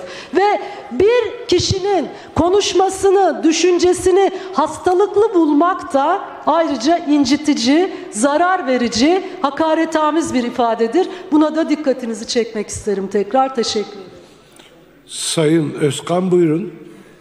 Siz sistemde göremediğim için buyurun Sayın Ağır Alioğlu sorun yok. Yani seslenerek de söz isteyebilirsiniz. Sadece bir husus var. Asli unsur, tali unsur terminolojisi imparatorluk terminolojisidir. İmparatorluklarda böyle bir literatür kullanılabilir. Ulus devletlerde bu literatürün yerine vatandaşlık gelir. Yani vatandaşlar Türkiye Cumhuriyeti Devleti'ne vatandaşlık bağıyla bağlı olan herkes Türk ıtlak olunur cümlesi Cumhuriyet kurulurken çok medeni bir tariftir. Sosyolojik olarak istinad ettiği şey budur. Yani kimsenin kendini ne hissettiğini yargılayan, töhmet altında bırakan, aidiyetiyle insanları rencide eden bir tanım değildir bu. Bu sosyolojik olarak vatandaşlığın hangi temel üzerinde milletleşmeyi tarif ettiğinin adıdır. Çok medeni bir tabirdir. Bugün bu meselenin bu hale gelmesinde sözlerimiz kadar sözlerimizin arkasındaki sicillerimizin doğruluğu ya da yanlışlığı etkilidir. Şimdi bazen şöyledir. Biz hükümetimizin bazı sözlerine bugün Milliyetçilik Partisi Açalım arkadaşlar mikrofonu. yeteri kadar itibar etmeyiz. Çünkü bu hassasiyetlerine havi bir siyasi geçmişe sahip değiller. Dolayısıyla bu kabil cümleleri takdir ederiz ama endişeyle dinleriz. HDP'nin bu mevzuda eşit vatandaşlık, vatan, benzeri cümlelerinde siyasi terminolojinin bazen savaş diline, bazen barışa davet ederken mütekabiliyet oluşturmasına da çok fazla itibar etmeyiz, itimat etmeyiz. Sebebi şudur, bu sözlerin arkasındaki siyasi sicil, asla bu sözleri söyleme hakkı olarak ellerine bu imkanı vermez. Yani müşahhas hale getiriyorum. Ben bazen sehven ya da bazen kasten Kürdistan diyebilirim. Benim Kürdistan sözüm siyasi sicilim, duruşum, fikri istinadgahım dolayısıyla imparatorluk hevesime hamledilir. Ama HDP'den birisi Kürdistan derse vatan tasavvurumuzda bölünme ettirir. Ben hukuk dersem hukuk eşitlik üzerinde her Tamamlayın Sayın Ağır Alioğlu. ifade etmiş olurum. HDP'de terörü terörü tekzip edemeyen birisi ya da o mesafeyi ayarlayamayan birisi hukuk derse terör seviciliğine hamledilir. Bunu şunun için arz ediyorum. Sözlerimiz kadar sözlerimizi söylemeye irade koyduğumuz yere bizi getiren siyasi süreçteki sicilimize göredir dediklerimiz. Dolayısıyla imparatorluk terminolojisiyle bu mevzuyu konuşamayız. Bu mevzuyu şöyle konuşabiliriz. Türkiye Cumhuriyeti Devleti'ne vatandaşlık bağıyla bağlı olan herkes Türktür. Kürt, Türkmenin mütekabilidir. Türk milleti hepimizin ortak ismidir. O. Sayın Özkan. Ya düşmanız demek de Teşekkürler Sayın Başkan. Sayın Başkan, değerli milletvekilleri, tabii aynı dili konuşmak kadar söylemlerimizin de aynı anlam içerisinde olduğu takdirde tam anlamıyla anlaşabildiğimizi ifade edebiliriz. Bugün demokrasilerde sandık 5 yıldan 5 yıla, 4 yıldan 4 yıla değil. Her an, her eylemimiz ve söylemimiz sürekli vatandaşlarımız nezdinde teste tabi tutuluyor ve bunlar sandık önüne geldiği zaman da vatandaşlarımız tarafından tercihlerine yansıtılıyor. Bakın Sayın Cumhurbaşkanımızın ve AK Parti olarak grubumuzun ve yine bugün yine tartışması söz konusu olan Cumhur İttifakı'nın bütün dünya ve ülke meseleleriyle ilgili, bölge meseleleriyle ilgili yaklaşımımız ülkemizin, milletimizin, devletimizin ve bayrağımızın çıkarı neyi gerektiriyorsa bu anlayışla meseleye yaklaşmaktır. Ve özellikle Sayın Altay'ın da ifade ettiği meseleye bakacak olursak Sayın Cumhurbaşkanımız hükümetin başı olarak başbakanlığı döneminde eski yönetim modelinde ve bugün de Cumhurbaşkanlığı hükümet sisteminde bütün ülke meselelerine yaklaşımı ülkemizin istiklal ve istikbali için en doğru hareket nedir? Bunun yaklaşımıdır. Bu bağlamda tale, söylemi kabul etmediğimizi ifade ediyor. Genel kurulu saygıyla selamlıyorum. Sayın Altay. İkinci tura başladık inşallah. Sayın Altay dedi. Buyurun devam edin Şimdi, Sayın Altay. Yani Sayın Özkan özetle diyor ki Tayyip Erdoğan Abdullah Öcalan iyidir derse bu doğrudur ama ahali derse yanlıştır. Böyle şey olur mu? PKK'ya HDP, MHP, pardon İyi Parti, İyi Parti, MHP, HDP, CHP hiç konjonktürel bakmadı. Hiç. Bu partilerin hepsinin PKK ile ilgili düşüncesi, anlayışı, yaklaşımı bellidir. Bu partinin sözcüsü olarak ben dedim ki, ya ne oluyor size ya?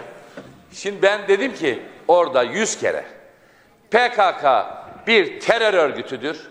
Devlet bununla katı, amansız, etkin bir mücadele etmelidir. Ama hiçbir güvenlik kaygısı, hiçbir güvenlik kaygısı temel hak ve özgürlüklerin gaspına engel olmamalıdır. Açalım mikrofonu lütfen. Türkiye'nin bir de ayrıca Kürt sorunu vardır diye bin defa söyledim. Ben söyledim. Ama Tayyip Erdoğan AK Parti Genel Başkanı sataşma olsun diye öyle diyorum. Sataşmadan söz alınsın diye. Şimdi mesela Sayın Öcalan'ı Türk siyasi hayatında şimdi siz MHP'ye söylüyorum bunu. HDP'ye kızıyorsunuz ya. Sataşma diye değil Erkan abi. ya. Sayın Öcalan'ı Türk siyaset literatürüne kazandıran Recep Tayyip Erdoğan'dır. Konjonktürel olarak. Bir dur ya. Şimdi PKK ile görüşen arkadaşı ben gönderdim. Sıkıntısı olan bana gelsin diye Recep Tayyip Erdoğan'dır. Ben AK Parti grubuna soruyorum. Şu fotoğraf Dolmabahçe'de çekirdek mi yiyordu kardeşim? Çekirdek mi yiyordu bu fotoğraf? Neyse. Şimdi bunun üzerine bu işleri ben yüz kere söyledim. Olan şehidin ölen gencin anasına babasına oluyor. Biz burada bu işin politikasını yapmayalım. Bin kere söyledim. Ayıp. Evet. e, Sayın Özkan artık bu konuyu kapatalım. Yoksa üçüncü tura da başlarsak yani ben benim açımdan bir sorun yok arkadaşlar. Bütün grup başkan vekillerinin söz taleplerini sabaha kadar karşılamaya hazırım ama bunun bir sınırı var lütfen. Şimdi aynı şekilde diğerlerinin de diğerlerinin de söz alıp konuşmasını ka- kabul ederseniz Sayın Özkan bir dinleyin beni. Size söz vereceğimi söyledim istiyorsanız. Aynı şeyler kayıtlara geçme şeklinde bir döngü halini alır. Komisyon da meclis çalışanları da diğer parti mensupları da eğer kabul ederse sınır tanımadan ben söz hakkı veririm. Bu kadar açık. Yani kayıda geçsin veya 60'a göre konuşmak istiyorum diyene söz hakkı veririm. Başkan öncelik siyasi partilerde değil komisyonda. onu, onu, onu, onu, onu ben takdir ederim Sayın Bilgiç. Şimdi önergeyi oylarınıza sunuyorum. Kabul edenler, etmeyenler önerge kabul edilmemiştir. Konya Milletvekili Fahrettin Yokuş konuşacaktır. Buyurun Sayın Yokuş, süreniz 5 dakikadır.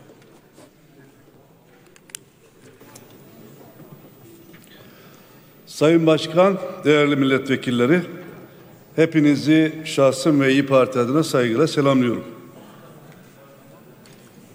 Efendim ben de biraz önceki tartışmayı kaynatmak için değil ama herhalde burada bulunan herkes bu kürsüden yemin ettik. Hem de şeref ve namusumuz üzerine yemin ettik. Eğer bu yemininizde herkes samimi ise lütfen bu kürsüye geldiğiniz zaman sözlerinizi ettiğiniz yemine sadakatle yaparsanız söylerseniz burada hiçbir tartışma çıkmaz.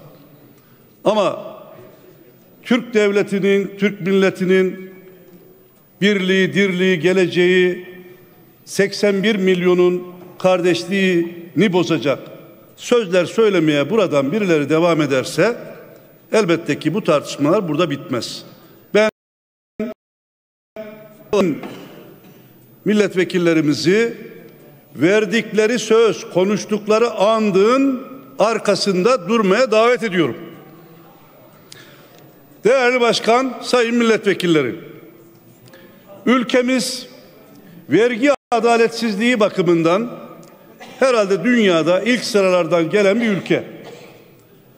Hani bizim iktidarımızın en güzel söylediği şey var ya, bizden önce bizden sonra. Yani 2002'den önce Türkiye'de vergi çeşitlerine bir bakın, bir de 2002'den sonra bakın. Görürsünüz ki bu iktidar vergi çeşitlendirmesini artırmıştır, çoğaltmıştır. Yine eski yıllara bir bakın. Kayıt dışı istihdama bir bakın. Eski sistemde çok şükür kayıt dışını yapanlar hiç olmazsa bizim vatandaşlarımızdı. Ama şimdi ülkemizde bir milyondan fazla kayıt dışı çalışan insan, on binlerce kayıt dışı iş yeri açmış olan yabancı unsurlar var. Eski sistemde Türkiye'nin vergi dağılımına baktığınız zaman yeni düzende değişen bir şey yok. Yine ortalamaya baktığınız zaman dolaylı vergilerle dolaysız vergiler arasındaki uçurum devam ederek gidiyor. Yüzde yetmişlere yüzde otuzlar civarında. Allah aşkına hala bu kürsüye çıkıp her konuda eskiden şöyleydi şimdi böyle demenizi vallahi biraz komik buluyorum ya. Kusura bakmayın ya. Komik buluyorum. Vergi konusunda da aynı. Bir aldığımız nefesten vergi almadığınız kaldı. Yakında onu da alırsınız. Allah Allah bilir alırsınız. Her yerde vergi. Yahu asgari ücreti vergi dışı dersiniz. Düzenlemeyi doğru dürüst yapamazsınız. İki çocuklu veya bir çocuklu evli asgari ücretten vergi alırsınız. Getirdiğiniz sistem böyle. Kayıt dışıyla mücadele edeceğiz diye bir yasa çıkarırsınız. Dersiniz ki efendim vergisini düzenli ödeyenlerden yüzde beş vergi indirimi yapacağız, almayacağız dersiniz. Deriz ki biz, yahu sizin adaletiniz ne zaman herkesi kapsayacak? Bu ülkede asgari ücretli de, efendim işçi de, memur da vergi vallahi kaçırmıyoruz biz. Düzenli ödüyoruz. E bize niye vergi indirimi yapmıyorsunuz? Ama sizin adaletiniz olmadığı için bakın şu anda bütün memurlar, emekliler, memurlar, işçiler 18 bin liralık gelirinin hemen üstüne çıktığı zaman yıl içinde ne yapıyoruz? Yeni bir vergi dilimi yüzde yirmiye giriyoruz ve sizin yıllarca biz memuru enflasyona ezdirmiyoruz yalanınız bu şekilde ortaya çıkmış oluyor. Efendim diyor enflasyon kadar artış verdik ya e kardeşim iyi de Ocak ayında bana enflasyon olarak verdiğin artış memura, işçiye, asgari ücretliye Haziran ayında aynı mı? Vergi dilimine geldi mi geri gidiyor. Ya da 15 Temmuz'da ikinci dönem verdiği yüzde dört beş artış Aralık ayında aynı miktarda cebimde kalıyor mu? Kalmıyor. Her yıl memurlar yıl yüzde üç dört, işçiler yüz Tamamlayın Sayın Yokmuş. kayba uğruyor. E şimdi niye bu adaletsizlikleri giderecek bir uygulama yapmazsınız? Bir de Kardeşim enflasyon kadar memura, işçiye zam yaparsınız, emekliye zam yaparsınız ama vergide yeniden değerlendirme oranını yüzde 23.7 yaparsınız. Yani bunun anlamı ne? Ben memura 2019 yılında 4 artı 5 9 vereceğim. Onun cebinden yüzde 23.7 vergi alacağım. Yahu sizin adaletinize bir bakın. Ben size neyi anlatayım? Aynı şekilde taşeron 4 artı 4 verdiğiniz taşeron aynı şekilde yarın toplu sözleşme yapacak işçiler ne diyeyim ben size? Onun için her seferinde burada diyorum anlatıyorum kamuyu yönetemediğinizi, yanlışlarınızı, beceriksizliklerinizi ya bir günde kabul edin. Kabul edin. Vallahi kabul ettiğiniz gün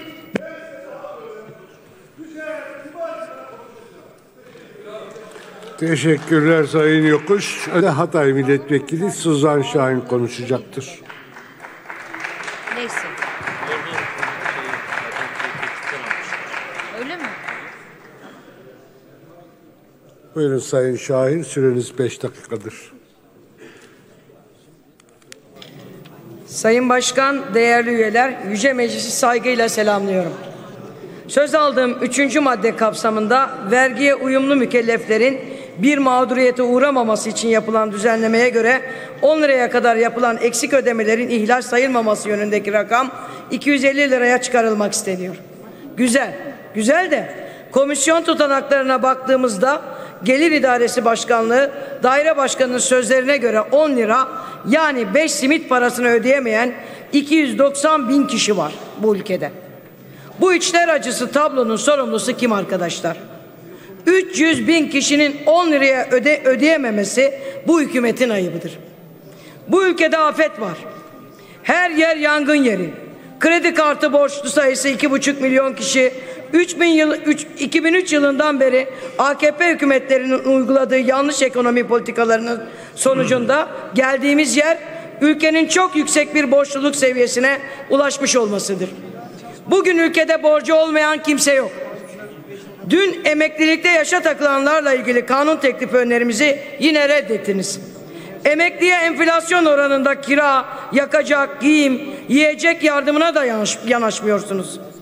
Asgari ücret 2020 lira ise en düşük emekli maaşı da 2020 lira olmalıdır. Emekliler açlık sınırında yaşam mücadelesi veriyor. Isınamıyor, kirasını ödeyemiyor. Öğrenciye verdiğiniz krediyi daha mezun olmadan istiyorsunuz. Genel başkanınız burs almayın, kredi alın, bedavacılığa alışmayın derken 280 bin öğrenciyi öğrenim ve katkı kredilerini ödeyemediği için icralık ettiniz. Öğrencilerin kredi borçları silinmeli, devlet geleceği olan gençlerine karşılıksız burs vermelidir. Bir tarafta ne talep ederse etsin, sana yok dediğiniz emekli, memur, işçi, öğrenci, çiftçi, diğer yanda milletimize hakaret etmesine rağmen vergi borcu silinen yandaş iş adamları. Milyarlarca liralık saraylarda badem sütü ile beslenenler. Bu halkın hesap soracağı günler yakındır arkadaşlar. Çiftçiye üretme diyorsunuz. Tüm tarım ürünlerinde gümrük vergisini sıfıra indirerek yerli tarımı bitiriyor. Çiftçiye tarlanı ekme diyorsunuz. Çiftçi ne yapsın? Başka yapacak işi de yok. Nasıl kazanacak da nasıl karnını doyuracak? Türk çiftçisini bitirip yabancı sermayeye ülkeyi teslim etmektesiniz. AKP hükümeti şirketlerin ve vatandaşların borçlarını ödeyebilmesine imkan verecek bir gelir kazanmalarına yol açacak politikalar geliştirmek yerine borçluların borcunu borçla çevirmesi için seçim öncesi müjde adı altında bir seçim yatırımı, realiteden uzak bir çözüm önerisi sunarak kredi kart borçlarının yapılandırılacağını söyledi. Türkiye'de toplam kredi kartı borcu 103.4 milyar lira. Bu borcun tamamını ödemek için Ziraat Bankası'nın kredi vermesi mümkün değil. Bankanın bu kadar kaynağı yok. Bu da demek oluyor ki herkesin talebi karşılanmayacak. Yeterli para olmadığından krediden yararlanmak da çok kolay olmayacak. Milyonlarca insan bu seçim yatırımından yararlanamayacak anlaşılan. Kre- Krediden yararlanabilmek için son 6 aydır sigortalı çalışan olmak ve borcu yasal takibe düşmemiş olmak gibi koşullar var. Asıl borcu takibe girmiş ve ödeyemez durumda olan kişinin borcu yapılandırması gerekirken bu kişilere sana kredi yok deniyor. Onların durumu ne olacak peki? Ödenecek taksit tutarı aylık gelirinin yüzde yetmiş beşini geçemeyecekmiş. Aylık geliri varsa tamam. Peki krizde işsiz kalan milyonlar ne yapacak? Ziraat Bankası yıllık mevduata yüzde yirmi faiz verdiğini söylüyor. Kredi kartı borcu için kullandıracakları aylık yüzde bir nokta birlik kredinin yıllık bileşik maliyeti yaklaşık yüzde on dört olur. Bankanın bu oranla krediye dönüştürmesi alenen zarar etmesine yol açacaktır. Bir kamu bankasının zararının önünde e, e, zararının önünde sonunda halka fatura edileceği de açıktır. Yoksa Ziraat Bankası'nı altından kalkamayacağı bir çıkmaza sokup batırarak yarın üç kuruşa yandaşlara ya da Katarlı dostlarına mı dostlarınıza mı satma düşüncesindesiniz? Rantın, lüksün, savurganlığın üretmeden tüketmenin bedelini yine halk ödeyecek. Bir yandan kışlık yazlık saray yatırımları, rektörlere uzay mekiği gibi makam araçları bir yanda Tamamlayın lütfen Sayın Şahin.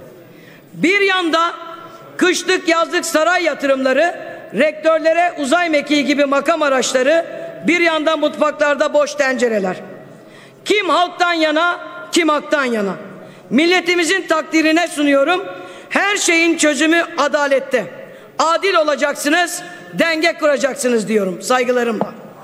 Teşekkürler Sayın Şahin. Önergeyi oylarınıza sunuyorum. Kabul edenler, etmeyenler önerge kabul edilmemiştir. Üçüncü maddeyi oylarınıza sunuyorum. Kabul edenler, etmeyenler üçüncü madde kabul edilmiştir. İlk söz Aksaray Milletvekili, İstanbul Milletvekili Hayrettin Nuhoğlu'ya aittir.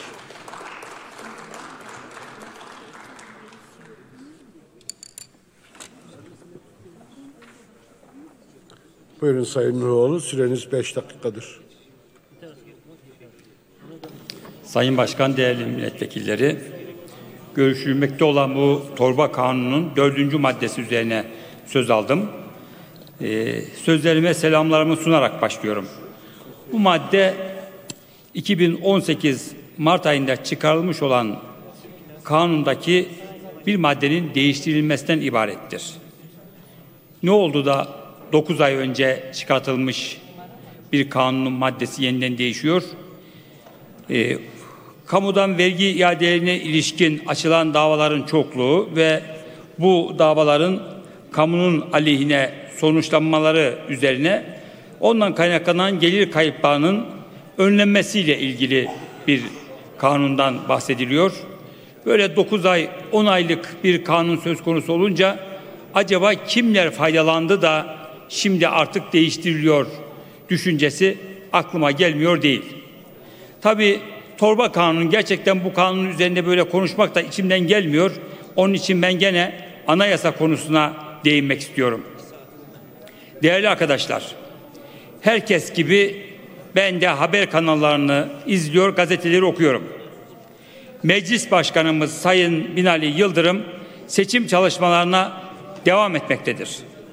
Yanındakilerle birlikte Adalet ve Kalkınma Partisi adına İstanbul'a Büyükşehir Belediye Başkanı olabilmek için bilerek ve tahammüden yeminine rağmen anayasaya sadakatten ayrılıyor. Doğrusu bu kadar pişkinlik olmaz. Anayasanın 94. maddesi orada durdukça bu yapılan hiçbir zaman unutulmaz ve bir gün mutlaka karşılığına çıkar. Merak ediyorum ettiği yemini bozmayı içine nasıl sindirebiliyor? O da benim gibi bir mühendistir. Aslında mühendisler analitik düşünmeyi severler ve doğru analizler yapabilirler.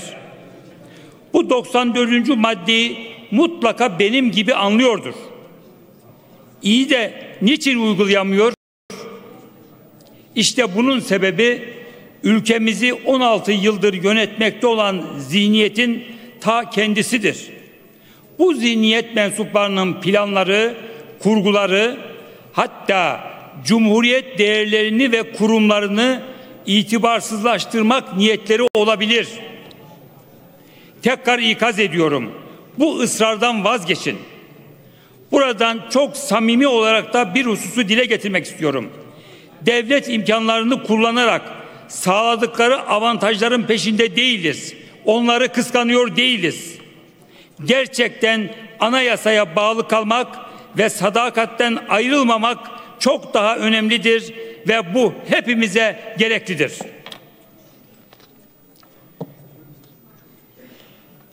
Değerli arkadaşlar, bu duruma sosyal medya hesaplarında ve dost sohbetlerinde artık çok sıkça rastlanmaktadır.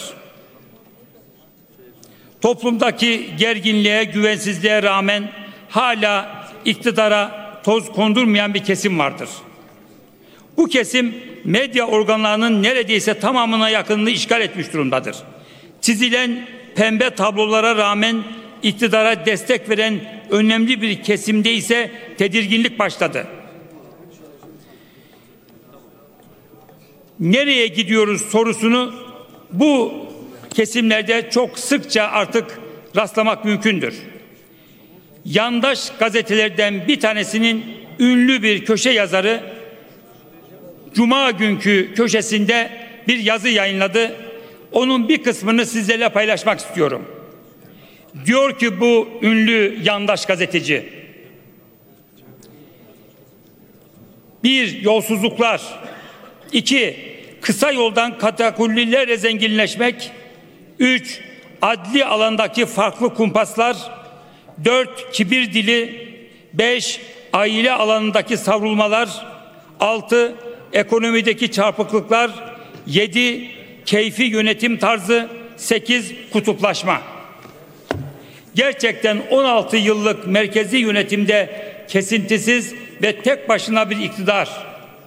Belediyelerde de 25 yıllık bir iktidar söz konusudur ve elbette yaşanan iç sancılar artık dışa vurmaya başlayacaktır. Öyle görünüyor ki 31 Mart bir dönüm noktası olacak ve ülkeyi yönetenler oradan çıkan sonuçtan sonra ya akıllarını başlarına alacak Tamamlayın Sayın Meoğlu. başlarına alacak ya da bir an önce çekip gitmenin planlarını yapacaklardır. Değerli milletvekilleri, değerli arkadaşlar, Yüksek Seçim Kurulu'nun takındığı tavırları da asla kabul etmiyoruz, tasvip etmiyoruz. İyi Parti olarak askı süresinin uzatılmasını talep ettik. Reddettiler. Tespitlerimize göre 126.294 seçmen sahte yazılmıştır. Metruk binalarda, boş arazilerde, FETÖ'nün kapatılmış yurtlarında yüzlerce adres görünmektedir. 80 metrekarelik bir apartman dairesinde 40 farklı soyadı taşıyan 82 kişi kayıtlıdır. Gene bunun benzeri o kadar çok mükerrer demeyeceğim sahte kayıt vardır ve bu seçimler şaibe altında kalabilir. Yüksek Seçim Kurulu vakit çok geçmeden acil tedbirler almak zorundadır. Hepinizi saygıyla selamlıyorum. Teşekkürler Sayın Meoğlu. Önerge, e, e, aynı mahiyetteki önergeler üzerinde ikinci söz Antalya Milletvekili Cavit Arı'ya aittir.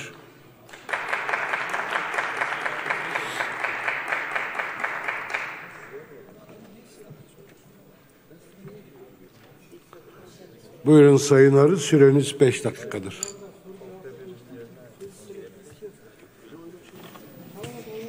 Sayın Başkan, değerli milletvekili arkadaşlarım. 39 sıra sayılı bazı kanunlarda değişiklik yapılmasına dair kanun teklifinin 4. maddesi 4. maddesinde Cumhuriyet Halk Partisi grubu adına söz almış bulunmaktayım. Öncelikle hepinizi saygıyla, sevgiyle selamlıyorum.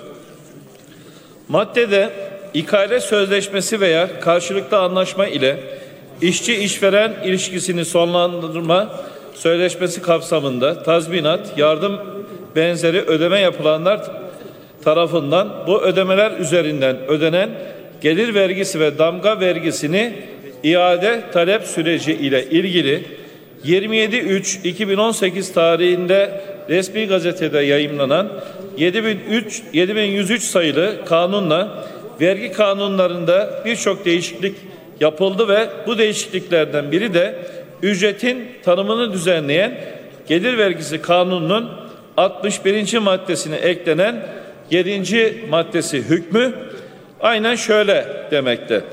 Hizmet sözleşmesi sona erdikten sonra karşılıklı sonlandırma sözleşmesi veya ikale sözleşmesi kapsamında ödenen tazminatlar, iş kaybı tazminatları, iş sonu tazminatları, iş güvencesi tazminatları gibi çeşitli atlar altında yapılan ödemeler ve yardımlar kapsamında bu ödemelerden kesilen vergilerin iadesi ile ilgili.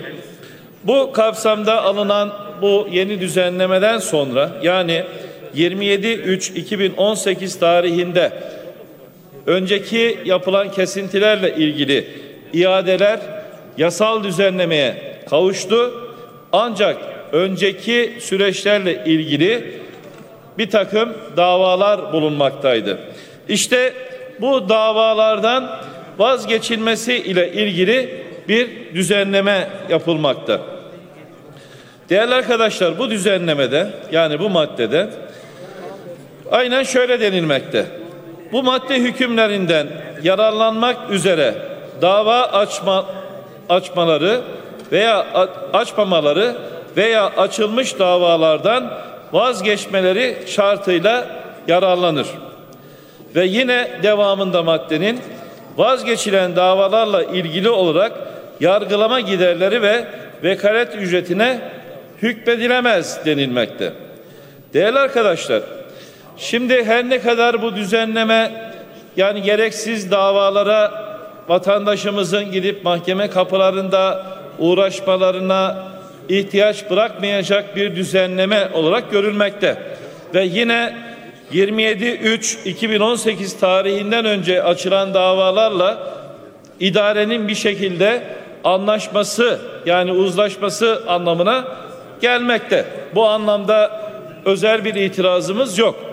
Ancak burada açılmış davalar bulunmakta. Şimdi bu davaları genellikle de avukat arkadaşlarımız açtılar. E şimdi gelinen noktada idare yani bir anlamda devlet bu kaybedilen davalar nedeniyle artık yargılama sürecinin bitirilmesi ve bu yargılamalardan vazgeçilerek mükellefle anlaşıp parasını iade etmekte. Sonuç sonuç olarak bu anlaşılmakta. Peki bu durumda avukatın suçu ne? Yani burada görevini yapmış olan davasını açmış ve de birçok kazanılan davaların da örnek teşkil ettiği bir ihtilafta görevini yapıp dava açan ve ücrete hak etmek üzere olan avukatın burada değerli arkadaşlar bir kusuru yok. Mükellefle devlet anlaşmakta ama sonuçta cezayı avukat çekmekte. Zaten avukatların durumu maalesef ülkemizde yargının içinde bulunduğu durumla bağlantılı olarak gerçek anlamda sıkıntılı. Yani zaten avukatların görev sahaları, görev alanları iyice kısıtlanmış durumda. Avukatların gelirlerinde ciddi bir azalma meydana geldi. İşte bu neden nedir ki zaten vergisel sıkıntı yani vergisini ödeyemeyen e, ciddi sayıda avukat arkadaşların olduğu bir ortamda siz devletle mükellefi anlaştırırken avukatın hak etmiş olduğu ücreti maalesef avukattan esirgemekle karşı karşıya bırakıyorsunuz. Değerli arkadaşlar, avukatlık kanunu gereğince böyle bir karar alınması esasen doğru. Buyurun tamamlayın sayınları. Çünkü dava açmaya sebebiyet verilmişse eğer dava açmaya sebebiyet veren kişi ve mahkeme masraflarından ve vekalet ücretinden sorumludur. Burada alınan daha doğrusu getirilmeye çalışılan bu hükümle idarenin dava açmaya sebebiyet verdiği çok açıktır. Dolayısıyla da burada artık avukatlık ücretini hak etmiş bulunan meslektaşlarımızın bu ücretlerinin kesinlikle burada e, sözleşme ile anlaşmanın öncelik şartı olarak değerlendirmesi doğru olmayacaktır. O nedenle de eğer mükellef anlaşacaksa davasından vazgeçecek ve avukatlık ücretine hükmedilmeyecektir şeklindeki bu düzenleme avukatlık kanuna uygun olmayacaktır değerli arkadaşlar. O nedenle bu yönüyle maddenin çıkarılmasını az ve talep ediyorum. Teşekkür ediyorum. Teşekkürler Sayın Arı. Aynı mahiyetteki önergeleri oylarınıza sunuyorum. Kabul eden etmeyenler önergeler kabul edilmemiştir. Dördüncü maddeyi oylarınıza sunuyorum. Kabul edenler etmeyenler dördüncü madde kabul edilmiştir. Beşinci madde üzerinde üç adet önerge vardır. Aykırılık sırasına göre okutup işleme alıyorum. Türkiye Büyük Millet Meclisi Başkanlığına görüşülmekte olan 39 sıra sayılı kanun teklifinin 5. maddesinin kanun teklifinden çıkarılmasına arz ve teklif ederiz. Erol Katırcıoğlu İstanbul, Musa Piroğlu İstanbul, Tuma Çelik Mardin, Serpil Kemal Bay Pek Gözegö İzmir, Necdet İpek Yüz Batman. Komisyon önergeye katılıyor mu? Katılmıyoruz Sayın Başkan. Önerge üzerinde Batman Milletvekili Necdet İpekyüz konuşacaktır. Buyurun Sayın İpekyüz, süreniz 5 dakikadır. Sayın Başkan, değerli milletvekilleri. Bu madde ile ödeme sistemlerinin teknolojiyle uyumu konusunda özellikle sinema sektöründe mevcut durumun düşünülünde düzenlemesini hedeflenmektedir. Fakat bütün maddelerde ele aldığımız gibi burada da bir sorunu gündeme getirmemiz lazım. Tekrar keyfiyet söz konusu, tekrar bir tekelleşme ile karşı karşıyayız. Niçin? Çünkü haksız bir rekabete neden olabilme ihtimali var. Aslında Türkiye'de baktığımızda sinema sektöründe e, afişlere, reklamlara, sinemaya gidenlere baktığımızda sanki sinemada seyirci sayısı arttı. Nitekim doğru da. Fakat bu sinema sektöründeki özellikle gişedeki sayının artması sinemadaki özgürlüklerin, sinemadaki gelişmenin artması anlamına gelmemektedir. Ve maalesef Türkiye'deki filmlerin çeşitliliği giderek azalmakta. Daha çok popüler kültür dediğimiz, popüler konuları alan ve gişe hasratı dediğimiz gişeyi öncelikli kılan filmler gündeme almakta.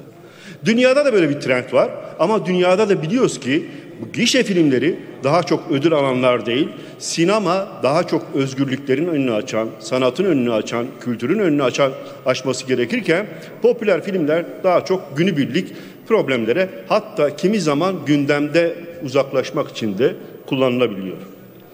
Ve Türkiye'ye baktığımızda aslında Türkiye'de bir taraftan geçen hafta çok tartışılan özellikle plan bütçe komisyonuna geldikten sonra sinema sektöründe çalışanların ele aldığı konu e, sosyal medyada ve diğer olabildiğince ulaşabildikleri kesimde de tartışmaya açtılar. Burada ele aldıkları konu neydi? Ele aldıkları en büyük konu Türkiye'de üç tane büyük firma aslında sinema sektörünü ele geçirmiş. Sinema sektörünün üç tane ayağı var. Bir tanesi dağıtım, bir tanesi yapım, bir diğeri işletme. Şu anda Türkiye'de dağıtım, işletme ve yapım aynı firmada toplanabiliyor. Dünyanın birçok yerinde dağıtım, işletme ve özellikle yapım aşaması farklı.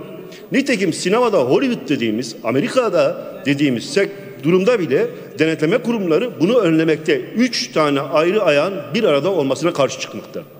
Türkiye'de bu AVM'lerle beraber cep sineması dediğimiz sektörde 180 bin, 181 bin koltuk var. 90 bini sadece bir firmaya ait. 90 bini. İstediği filmi oynatabiliyor, istediği filmi oynatamıyor. Size ben film sorsam birçoğumuz sinemaya gitmişiz gelmişiz ama en çok gişe hasılatı olanlar aklımızda. Peki ödül alan filmler, belgeseller, Türkiye'nin gerçeğini veya yurt dışındaki gerçekleri paylaşan kaç film izlemişsiniz veya izleniyor? Çok az. Ve giderek buradaki bu tekerleşme gerçekten de sinema sektöründe sanatın, özgürlüğün, muhalefetin önünü açmak isteyenlerin de önünde engel olmaktadır. Bu kısaca tekrar bir tekerleşmeye neden olmakta ve buna denetleme kurulu olması gereken rekabet kurumu da seyirci olmakta. Yani deyim yerindeyse denetleme görevi üstünde olan rekabet kurumu sinema seyreder gibi seyretmektedir. Normalde incelemesi lazım, müdahale etmesi lazım ama sinema seyircisi gibi izlemekte ve hatta bu tekerleşmeye de göz yummaktadır. Biz, biz ne, ne demek istiyoruz? Biz sinema sektörünün, sinema çalışanlarının ve sinemadaki özgürlüklerin önünü açmazsak gerçekten Türkiye'deki demokrasi mücadelesine zarar vermiş oluruz. Bakın size kendi vekil olduğum ille ilgili bir olayı anlatmak istiyorum sinema bağlamında. Batman'da 70'lerde Türkiye'nin birçok yerinde olduğu bir sinemalar var. Mehtap sineması dediğimiz bir sinema var. Ve Batman son dönemde sineması yoktu 2000'li yılların başına kadar. 2000 yıllar başında Batman'da yerel yönetimler ve Batman'daki bir kısım sanatla uğraşanlar, kültürle uğraşanlar bir sinema yapalım dediler. Ve Batman gibi yerde belediye buna öncülük etti. İnşaatı yapıldı. Bir parkın çevresinde sinema yapıldı. Çay bahçesi var, kafesi var ama aslında sinema dışında bir kültür evine dönüştü. Tiyatrosu, şu seminerleri, panelleri, konferansları birçok etkinlik yapılıyor. Ne olacak? Bu sinemanın ismini soruldu kamuoyuna. Yılmaz Güney Sineması oldu. Ve Yılmaz Güney Sineması yıllarca orada hizmet verdi. Ve kayyum atandı. Kayyum atandı. İlk işi ne oldu? Herkes bekliyor kayyum ne yapacak diye. Dedi ki bu Yılmaz Güney Sineması'nın görünümü hoş değil. Biz sosyal medyada paylaşalım. Üç tane proje sunalım. Bu sinemayı güzelleştirelim. Daha bununla uğraşılırken pat bir yangın çıktı. Elektrik kontağı dendi ve sinema ciddi hasar gördü, yandı. Peşinden ne yapalım, ne edelim? Devam edin sayın. Halkı Yılmaz Güney sineması bir nefes olmuş. Bir soluk alma yeri olmuş. Ne yapalım dedi. Kayyum internetten şunu dedi. Ya biz bundan vazgeçtik bu üç projeden. Size sosyal medyadan soruyoruz bir anket yapalım. Ankette Yılmaz Güney sinemasını biz burayı bahçe mi yapalım, park mı yapalım, sinema yap sinema mı yapalım? Bir hafta on gün beklendi. Bu yüzde 67 sinema yapalım, bahçe yapmayalım. Sekiz gün sonra tekrar kayyum bir daha bir soru soracak. Ya birçok tepki var. Sinema mı yapalım, cami mi yapalım? Buyurun. Tekrar kamuoyu yüzde yetmiş altı tekrar sinema yapalım. Hala sinema yok. Yılmaz Güneş sineması yok. Ayıp değil mi ya? Hep soruyorsunuz. Ve ne yapılıyor? Hafıza yok ediliyor. Hafıza. Çim ekiliyor, bolozlar kaldırılıyor, yerle bir ediliyor. Sonra nedir? Kayyumlar memlekette seviliyor, beğeniliyor. Ya ilk geldiğin günden Batman'a ne yapmışsan yap ama Yılmaz Güney sineması oranın nefesiydi, sesiydi. Siz sinema sektörüne böyle bak. Sözlerinizi bağlayın Sayın İpek Yüz. Kültüre ve sanata böyle bakarsanız, her şeyi kendinize görürseniz, ihsan, lütuf gibi ben bilirim, ben sizin adınıza karar veririm dersiniz. Ama halka sorduğunuzda halk size bunun cevabını verir. Hele ne ayıp ki böyle bir kayım camiyle sinemayı sorup bu yanıtı aldıktan sonra da yerinde oturuyor. Teşekkür ediyorum, saygılarımı sunuyorum. Teşekkürler Sayın İpek Yüz. Önergeyi oylarınıza sunuyorum. Kabul edenler, etmeyenler önerge kabul edilmemiştir. Antalya Milletvekili Feridun Bahşi konuşacaktır. Buyurun Sayın 5 dakika.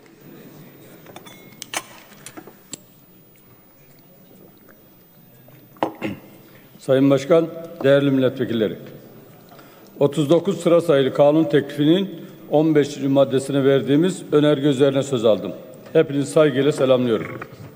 Değerli milletvekilleri, Türkiye'de çıkarılan her yeni yasa yeni mağduriyetler yaratmakta. Birinci parti mensupları da mağduriyetleri gidermek için torba yasaları devreye sokmaktadır. Yasalar sorun çözmek için vardır. Sorun çıkarmak için değil. AK Parti'nin daha önce çıkardığı torba yasalarda unutulmuş, eksik bırakılmış, sakıncalı bulunmuş hususları yeni torba yasalarla düzeltmeye çalışmakta. Ancak yeni torba yasalar yeni sakıncalar doğurmaktadır. Torba yasalar yapboz, dene yanıl, koy kaldır yasalarıdır. Acele, üstün körü, zaman baskısı altında yangından mal kaçırır gibi çıkarılan yasalar sağlıksız ve sorunludur. Bütün bunlar daha önce de defalarca söylenmesine rağmen iktidar yanılmaz olduğunu düşünüyor. Yaptığı her işinde işinde doğru olduğunu sanıyor. Türkiye Büyük Millet Meclisi'nde bu şekilde çalıştırmaya devam ediyor ki doğru değildir. Torba yasalarla haksızlıkları bile bile parça parça taksit taksit gideriyorsunuz. Ne kadar torba yasası çıkarılırsa yasalar ve yasama da o kadar sorun hale gelmektedir. Buradan bir kez daha uyarıyorum. Türkiye Büyük Millet Meclisi'nin ve Türk demokrasisinin iki virüsü vardır. Bunlardan birisi kanun hükmünde kararnameler, diğer ise torba yasalardır. Bunları tedavi etmeden Türkiye'de demokrasiyi tedavi edemezsiniz. İktidarın istisnai hallerde başvurması gereken torba yasaya sürekli başvurduğunu görüyoruz. Roma'da milattan önce 98 yılında kabul edilmiş bir kanunla yasa yapma tekniğinin ilkesi çizilmiştir. Bu ilke yasalarda konu birliği olma ilkesidir. Yani tek konu ya da sıkı bağlantı içinde konuları düzenleme zorunluluğu ilkesidir. 2117 yıl önce konmuş evrensel hukuk ilkesine bizim parlamentomuzda bugün bile uyulmamakta, aralıksız ve çok fazla torba yasa çıkarılmaktadır. Değerli arkadaşlar, Fransa'da bir deyiş vardır. Bir ülkede yasa sayısı 5000'i geçmişse o ülkede hukuktan söz edilemez.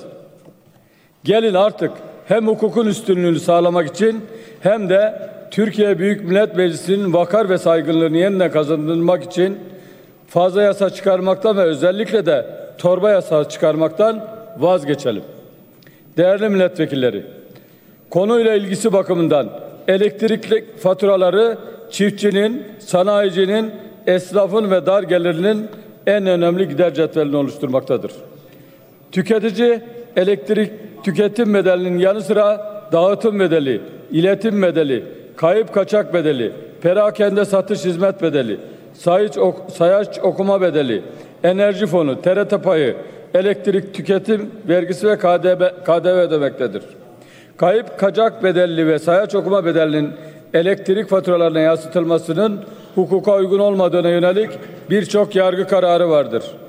Bundan dolayı 2016 yılında yapılan düzenleme sonucu daha önce elektrik faturalarında ayrı ayrı gösterilen kayıp kaçak bedeliyle iletim ve sayaç okuma bedelleri dağıtım bedeline eklenmiş olup faturalarda ayrı bir kalem olarak görünmez hale getirilmiştir. Kayıp kaçağın oluşmasında hiçbir sorumluluğu bulunmayan tüketicilerin kayıp kaçak bedelini ödemek durumunda bırakılması hak ve hakkaniyet ilkesiyle bağdaşmamaktadır. Tüketicilerin dağıtım sisteminin kayıp ve kaçağına muhatap kılınması anayasanın hukuk devleti, sosyal devlet, adalet ve eşitlik ilkelerine ve evrensel tüketici haklarına aykırıdır. Nitekim Yargıtay Hukuk Genel Kurulu'nun 21 Mayıs 2004, 2014 gün 2013 Taksim 7 2554 esas ve 2014 Taksim 679 karar sayılı ilamı da bu yöndedir.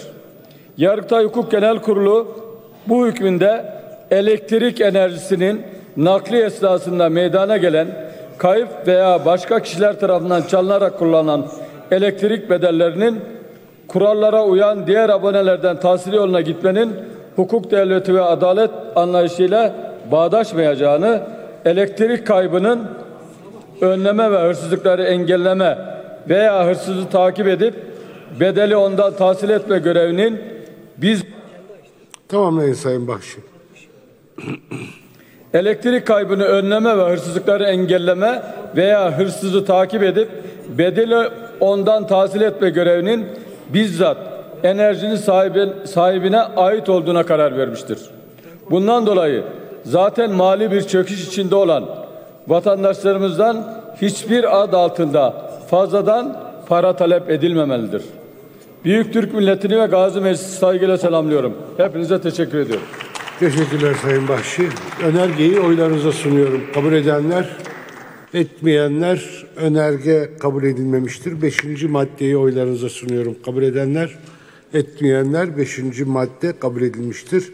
6. madde üzerinde ikisi aynı mahiyette olmak üzere toplam 3 önerge vardır. Önergeleri aykırılık sırasına göre okutup işleme alıyorum. Türkiye Büyük Millet Meclisi Başkanlığına görüşülmekte olan 39 sıra sayılı kanun teklifinin 60. maddesinin kanun teklifinden çıkarılmasını arz ve teklif ederiz. Erol Katırcıoğlu İstanbul, Musa Piroğlu İstanbul, Tuma Çelik Mardin, Serpil Kemal Bey Pekgözegü İzmir, Necdet İpekgöz Batman. Komisyon önergeye katılıyor mu?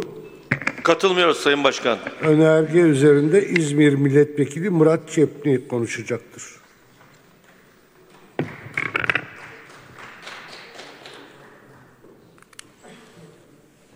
Buyurun Sayın Çepni, süreniz 5 dakikadır.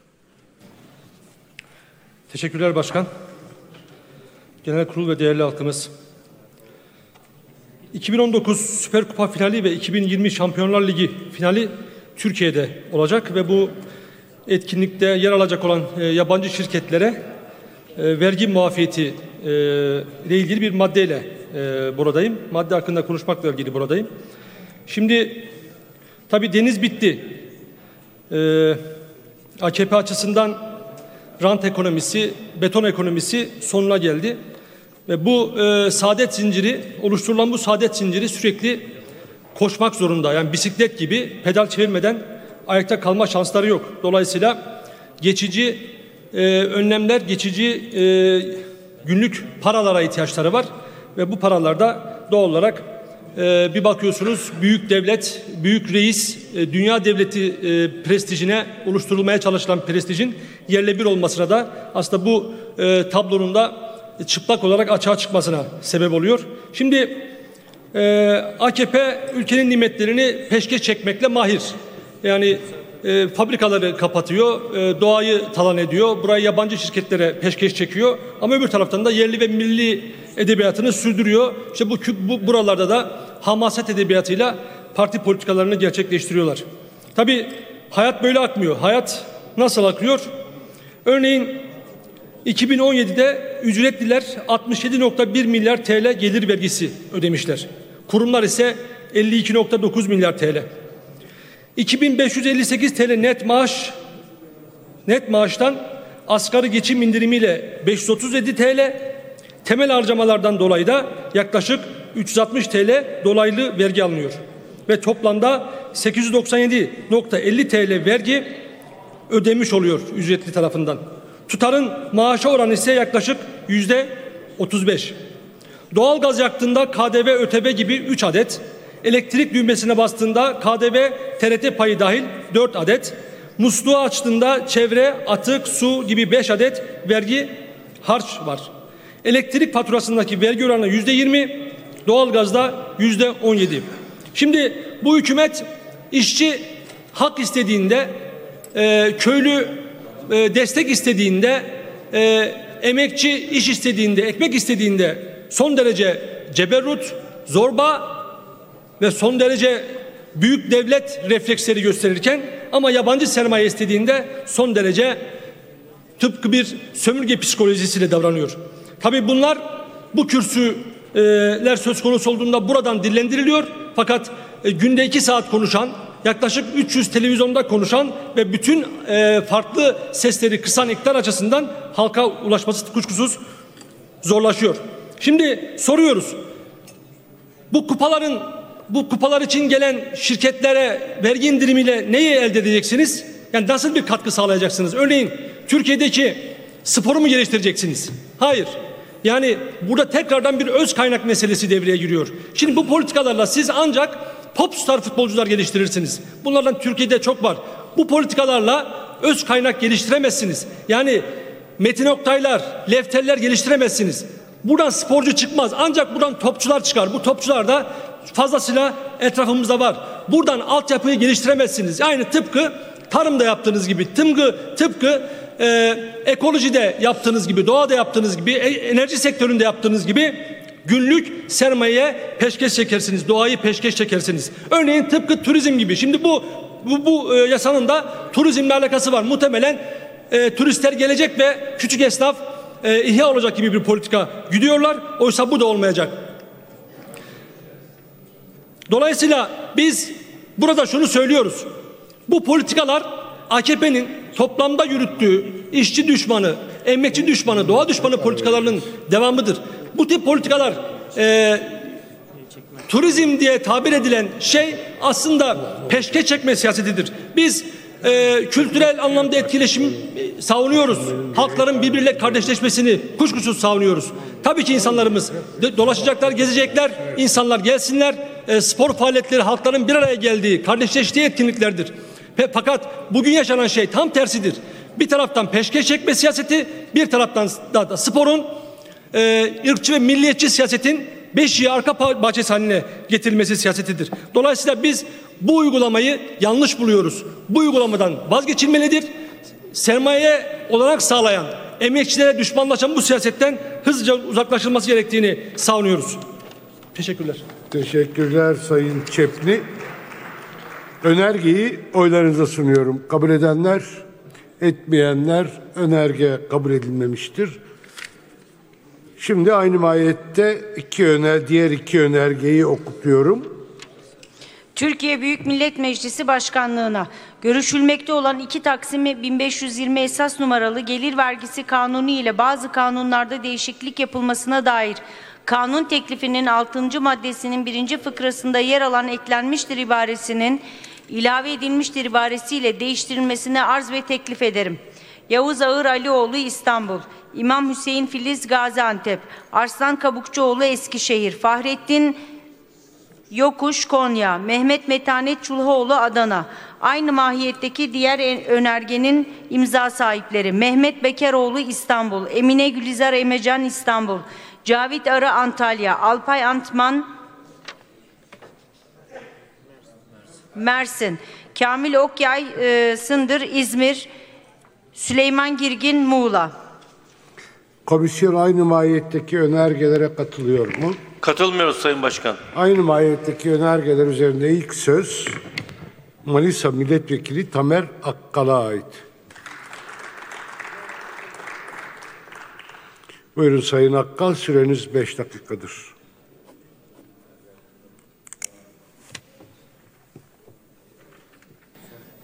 Sayın Başkan, değerli milletvekilleri, televizyonları karşısında bizleri izleyen Yüce Türk milleti hepinizi saygıyla selamlıyorum. Gelir vergisi kanunu ile bazı kanunlarda değişiklik yapılmasına dair kanun teklifinin 6. maddesiyle ilgili İyi Parti adına söz almış bulunmaktayım. Genel kurulda aceleyle komisyondan geçirilen 71 maddelik torba yasa teklifi görüşülürken şimdi de 18 maddelik bir torba yasa usulü aykırı olarak plan bütçe komisyonuna alındı ve genel kurulda görüşülüyor. Teklifte 11 farklı kanun olduğu halde komisyonlardan görüş alınmadan kanun maddelerini ilgili meslek gruplarına ve kamu kurumlarına danışmayan AK Parti grubu Gazi Meclis'in iradesini ve demokratik temayülleri yine yok saymaktadır. Yasama yılının başından beri getirilen yasa teklifleri anayasaya aykırı olarak hazırlanmaktadır. Ülkemiz 16 Nisan kirli referandumundan sonra adım adım bir tek adam rejimine doğru sürüklendi. Asırlık parlamenter sistem tasfiye edilerek yerine ağır bir tek adam otoritesi inşa edildi. Tek adam rejiminin sebep olduğu devlet kurumlarındaki yozlaşma ve tahribatın yasama erkini tümüyle kuşattığını görüyoruz. Türkiye Büyük Millet Meclisi AK Parti tarafından adeta bir tiyatro salonu olarak görülüyor. Bu yüce mecliste AK Parti'nin ziyadesiyle milletvekili var. Grup başkan vekili, komisyon başkanları var. Ama bunların hiçbirisinin yasa tekliflerindeki tek bir cümleyi, tek bir noktayı bile değiştirebilecek kudret ve inisiyatifleri yok. Tamamı saray bürokrasisinden gelen senaryoyu oynamakla mükellef. 16 Nisan kirli referandumuyla getirilen Cumhurbaşkanlığı hükümet sistemi gereği yürütmeye ait olan kanun tasarısı kaldırılmış ve sadece meclis erkine ait olan kanun tekliflerinin verilebileceğini kabul edilmişti. Yasama ve yürütme arasındaki kesin ayrılık için getirilen ve anayasal zorunluluk olan bu karar bir yalandan ibarettir. Alınan kararın aksine Cumhurbaşkanlığı hükümet sisteminde milletvekilleri tarafından verilen kanun teklifi ortadan kaldırılmış ve tüm yasalar yürütme tarafından hazırlanıp AK Parti milletvekillerine imzalatılan kanun tasarıları şeklinde Yüce Meclis'e getirilmiştir. Saray bürokrasisinin AK Partili milletvekillerine imzalattığı kanun tasarıları komisyonlarda tartışılmadan ve görüşülmeden torba kanunlara doldurulup genel kurula getirilmektedir.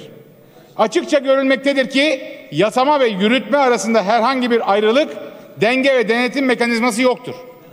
Yasama, yürütme ve yargı bir tek adam rejimi altında işlevlerini yitirmiş ve tüm demokratik uygulamalar ve temayüller yok edilmiştir. Değerli milletvekilleri, teklifin ilgili maddelerinde yabancı futbol kulüpleri ve tüzel kişiliklere ülkemizde oynanacak olan 2019 UEFA Süper Kupa finali ve 2020 UEFA Şampiyonlar Ligi finali müsabakaları dolayısıyla yapılacak mal teslimleri ve hizmetleri için hem katma değer vergisinden hem de gelir ve kurumlar vergisinden istisna tutulması amaçlanmaktadır. İhracata teşviki arttırmak ve döviz akışını sağlamak için KDV muafiyetini anlamak mümkündür. Ancak gelir ve kurumlar vergisi muafiyetini kabul etmemiz mümkün değildir. Ülkemize gelecek bu kulüpler ya da tüzel kişiler Türkiye'de ödemese bile kendi ülkelerinde vergilendirilecekler. Eğer Türkiye'de vergi öderse burada ödedikleri vergi nispetinde kendi ülkelerinde mahsuplaşacaklar. Bizim almadığımız gelir ve kurumlar vergisini kendi memleketlerinde ödeyecekler. Türkiye açısından böylesine anlamsız bir vergi kaybının mantığını anlamak mümkün değildir. Türkiye egemenlik haklarından doğan vergilendirmeden vazgeçerek yalnızca gereksiz bir gelir, kaybına değil, aynı zamanda bir itibar kaybına da uğrayacaktır. Türkiye müstemleke bir ülke değildir. İyi Parti olarak modern kapitülasyonlara sebep olacak ve Türk devletinin egemenlik haklarına halel getirecek yasa tekliflerine karşı olduğumuzu buradan beyan ve ifade etmek istiyorum. Futbolla ilgili bir diğer konu futbol kulüplerinin dostu Ziraat Bankası. Ziraat Bankası milyon dolarlık futbol kulüplerinin tüm borçlarını 5 ila 10 yıla kadar varan madelerle yapılandırıyor. Keşke kulüplerin borcunu yapılandırdığı gibi milyonlarca çiftçinin borcunu da yapılandırsaydı. Buradan soruyorum. Ziraat Bankası'nın kuruluş amacı nedir? Demirören grubuna kredi verip Kanal D'yi satın almasını sağlamak mıdır? Yıllarca yanlış idare edilen kulüplerin borçlarını yapılandırmak mıdır? Tamamlayın Sayın Akkal. Ziraat Bankası bu işler için mi kurulmuştur? Hiç çiftçiyi kurtaran bir Ziraat Bankası duydunuz mu? Çiftçinin traktörleri hacizli, banka borçları 100 milyarları aştı. Ürettiklerini neredeyse maliyetine satan, zararına satan çiftçilere kredi vermeyen Ziraat Bankası futbol kulüplerinin ne hikmetse derdine düşmüştür. Konuşmama son verirken şunu da ifade etmek isterim. Futbolda yapılması gereken bir şey varsa çiftçileri desteklemekle, desteklemekle mükellef olan bankaların milyon dolarlık spor kulüplerinin borçlarını yapılandırması kesinlikle değildir. Yapılması gereken dernekler kanununa göre yönetilen spor kulüplerine müstesna olmak üzere çağdaş bir spor kulüpleri kanunu çıkarılmasıdır. Yapılması gereken Manisa Spor gibi köklü kent takımlarının desteklenmesidir. Kentteki yerel kurumların kendi kurum takımlarından ziyade şehir takımlarının desteklenmesi hususunda hassasiyet gösterilmesi gerektiğini düşündüğümü belirtiyor ve genel kurula saygılarımı sunuyorum. Teşekkürler Sayın Akkal. Aynı mahiyetteki e, önergeler üzerinde ikinci söz Mersin Milletvekili Alpay Antmen'e ait. Buyurun Sayın Antmen. Süreniz 5 dakikadır. Teşekkür ederim Sayın Başkan. Sayın Başkan, değerli milletvekilleri, teklifin 6. maddesini görüşüyoruz. Bu maddeyle 2019 UEFA Süper Kupa finali ve 2020 UEFA Şampiyonlar Ligi final müsabakalarına ilişkin UEFA'ya katılımcı futbol kulüpleri ve organizasyonda görevli tüzel kişilerden iş yeri, kanuni ve iş merkezi Türkiye'de bulunmayanlara KDV muafiyeti sağlanıyor. Soralım. Bir, neden bu KDV alınma, alınmaması sadece iş yeri, kanuni ve iş merkezi Türkiye'de bulunmayanlara sağlanıyor? Cümlenin düşüklüğünü hiç saymıyorum. İki, neden bu KDV alınmaması sadece tüzel kişilere öngörülüyor? Üç, neden bu maddeyle ilgili uluslararası mütekabiliyet esası öngörülmemiştir? Cevabını ben vereyim. Bu kanun maddesi yine sipariş bir kanun ve adrese teslim kolaylıklar sağlayacak. Yani bu yasa ile iki futbol maçı için yapılacak işler dolayısıyla belli şirketlere KDV, gelir vergisi, kurumlar vergisi alınmaması öngörülüyor. Ama diğer vergi mükellefleri, mükelleflerimiz ise ağır vergi yükü altında inim inim inliyorlar. Örneğin diğer ödentiler ve gelir vergisi dışında avukatların doğrudan ödediği KDV oranı yüzde on sekiz. Adalet hizmetinin pırlanta kadar, futbolcu kadar ya da vergisini sıfırladığınız millete söven iş adamı kadar değeri yok mu? Avukatlık hizmeti için KDV'nin pırlantanın KDV'si gibi sıfır olmasa bile ekmekte olduğu gibi yüzde bire indirilmesi gerekmez mi? Büyük şair Bertolt Brecht ne diyor? Adalet halkın ekmeği değil midir? Gerçi siz halkın ekmeğine de adalet hakkına da pek saygı duymuyorsunuz ama neyse. Değerli milletvekilleri Türkiye'de iki kulüp var. Biri Sarayspor, diğeri Halkspor. Siz özgürlüklerde, demokraside, insan haklarında Türkiye'yi amatör kümeye düşürdünüz. Şu çektiğiniz tek kale var, o da maalesef halkın kalesi. Vatandaş geçim sıkıntısı altında ezilirken tarıma ve çiftçiye destek vermesi gereken bir banka sizin emrinizde bunun yerine spor kulüplerinin borçlarının derdine düştü. Sporun desteklenmesi hepimizin isteğidir. Ancak burada konunun spor olmadığı çok açık. Futbolda en az vergi alan Avrupa ülkesiyiz. Ama en kötü futbol bizde neden acaba? Futbolculara takın kramponları oynayın diyorsunuz ama asgari ücretliye ise maşallah kramp geçirtiyorsunuz. Yabancı futbolcuların Türkiye'ye tercih etmesinin en önemli nedeni Türkiye'nin yabancı sporcular için bir vergi cenneti olması. Oysa altyapıya yatırım yapılsa ve altyapıda ülkemizin genç değerleri içerilse daha iyi olmayacak mı sayın milletvekilleri? Bakın bugün ayda bürüt 6 bin TL maaş ile çalışan bir vatandaş gelirinin yarısından fazlasını yani 3400 lirasını vergi için ödüyor. Örneğin İsveç futbolcular %59, Portekiz'de 56.5, Danimarka'da ve İspanya'da %56 oranında vergi öderken Türkiye'de %15 ödüyorlar. O da öderlerse. Asgari ücretli vatandaş yılın 130 günü sadece vergiler için çalışırken çok yüksek standartlarda kazanan futbolcuların futbol kulüplerinin çok az vergi vermesi hatta vergi vermemesi adaletsizlik ve haksızlıktır. İşçiye, çiftçiye, emekliye, memura vergi bindirimi yapan sayın iktidar futbolcuya vergi indirimi yapıyor. Adaletin sağlanması adına Türkiye'de futbolcular da tüm halkımız gibi kazandıkları ölçüde vergi vermelidir. Bence futbolcular forma reklamlarına hükümet sağ olsun yazsınlar. Olmadı transferleri de siz yapın. AKP Başkan Saray Spor şampiyon diye tezahürat duymak istiyorsunuz ama asgari ücretinin tezahüratı başka. AKP Başkan işsizlik şampiyon. Siz takımları Devler Ligi'ne çıkarabilir misiniz emin değilim ama vergi liginde küme düştüğümüz kesin. Çalışanların kararıyla hükmen yeniliksiniz. Değerli milletvekilleri lamıcım yok. 31 Mart'ta göreceksiniz. Bu halk Sarayspor'a size sandıkta öyle bir çekecek ki unutmayacaksınız, unutamayacaksınız. Çünkü halk durur durur öyle bir vurur ki hepiniz baraj kursanız da fayda etmez. Hepinizi saygılarımla selamlıyorum. Teşekkür ederim. Teşekkürler Sayın Ant. Ben aynı mahiyetteki önergeleri oylarınıza sunuyorum. Kabul edenler, etmeyenler önergeler kabul edilmemiştir. Altıncı maddeyi oylarınıza sunuyorum. Kabul edenler, etmeyenler altıncı madde kabul edilmiştir. Yedinci madde üzerinde aynı mahiyette olmak üzere üç önerge vardır. Önergeleri okutup işleme alıyorum. Türkiye Büyük Millet Meclisi Başkanlığına görüşülmekte olan 2 Taksim 1520 esas numaralı gelir vergisi kanunu ile bazı kanunlarda değişiklik yapılmasına dair kanun teklifinin 7. maddesinin teklif metninden çıkarılmasını arz ve teklif ederim. Mehmet Metanet Çuğlaoğlu Adana, Fahrettin Yokuş Konya, Arslan Kabukçuoğlu Eskişehir, İmam Hüseyin Filiz Gaziantep, Hüseyin Örs Trabzon. Aynı mahiyetteki diğer önergenin imza sahipleri Necdet İpek Yüz Batman, Erol Katırcıoğlu İstanbul, Serpil Kemal Bey Pek Gözegü İzmir, Tuma Çelik Mardin, Musa Piroğlu İstanbul. Aynı mahiyetteki diğer önergenin imza sahipleri Mehmet Bekiroğlu İstanbul, Süleyman Girgin Muğla, Emine Gül Gülizar Emecan İstanbul, Kamil Okyay Sındır İzmir, Cavit Arı Antalya.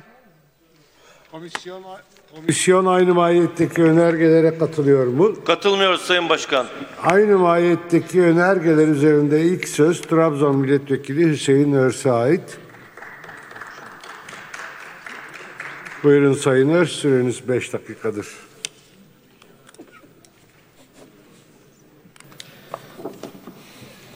Sayın Başkan, değerli milletvekilleri, ilgili kanun teklifinin 7. maddesi üzerinde konuşma yapmak üzere İyi Parti grubu adına söz aldım. Hepinizi en derin saygılarımla selamlıyorum.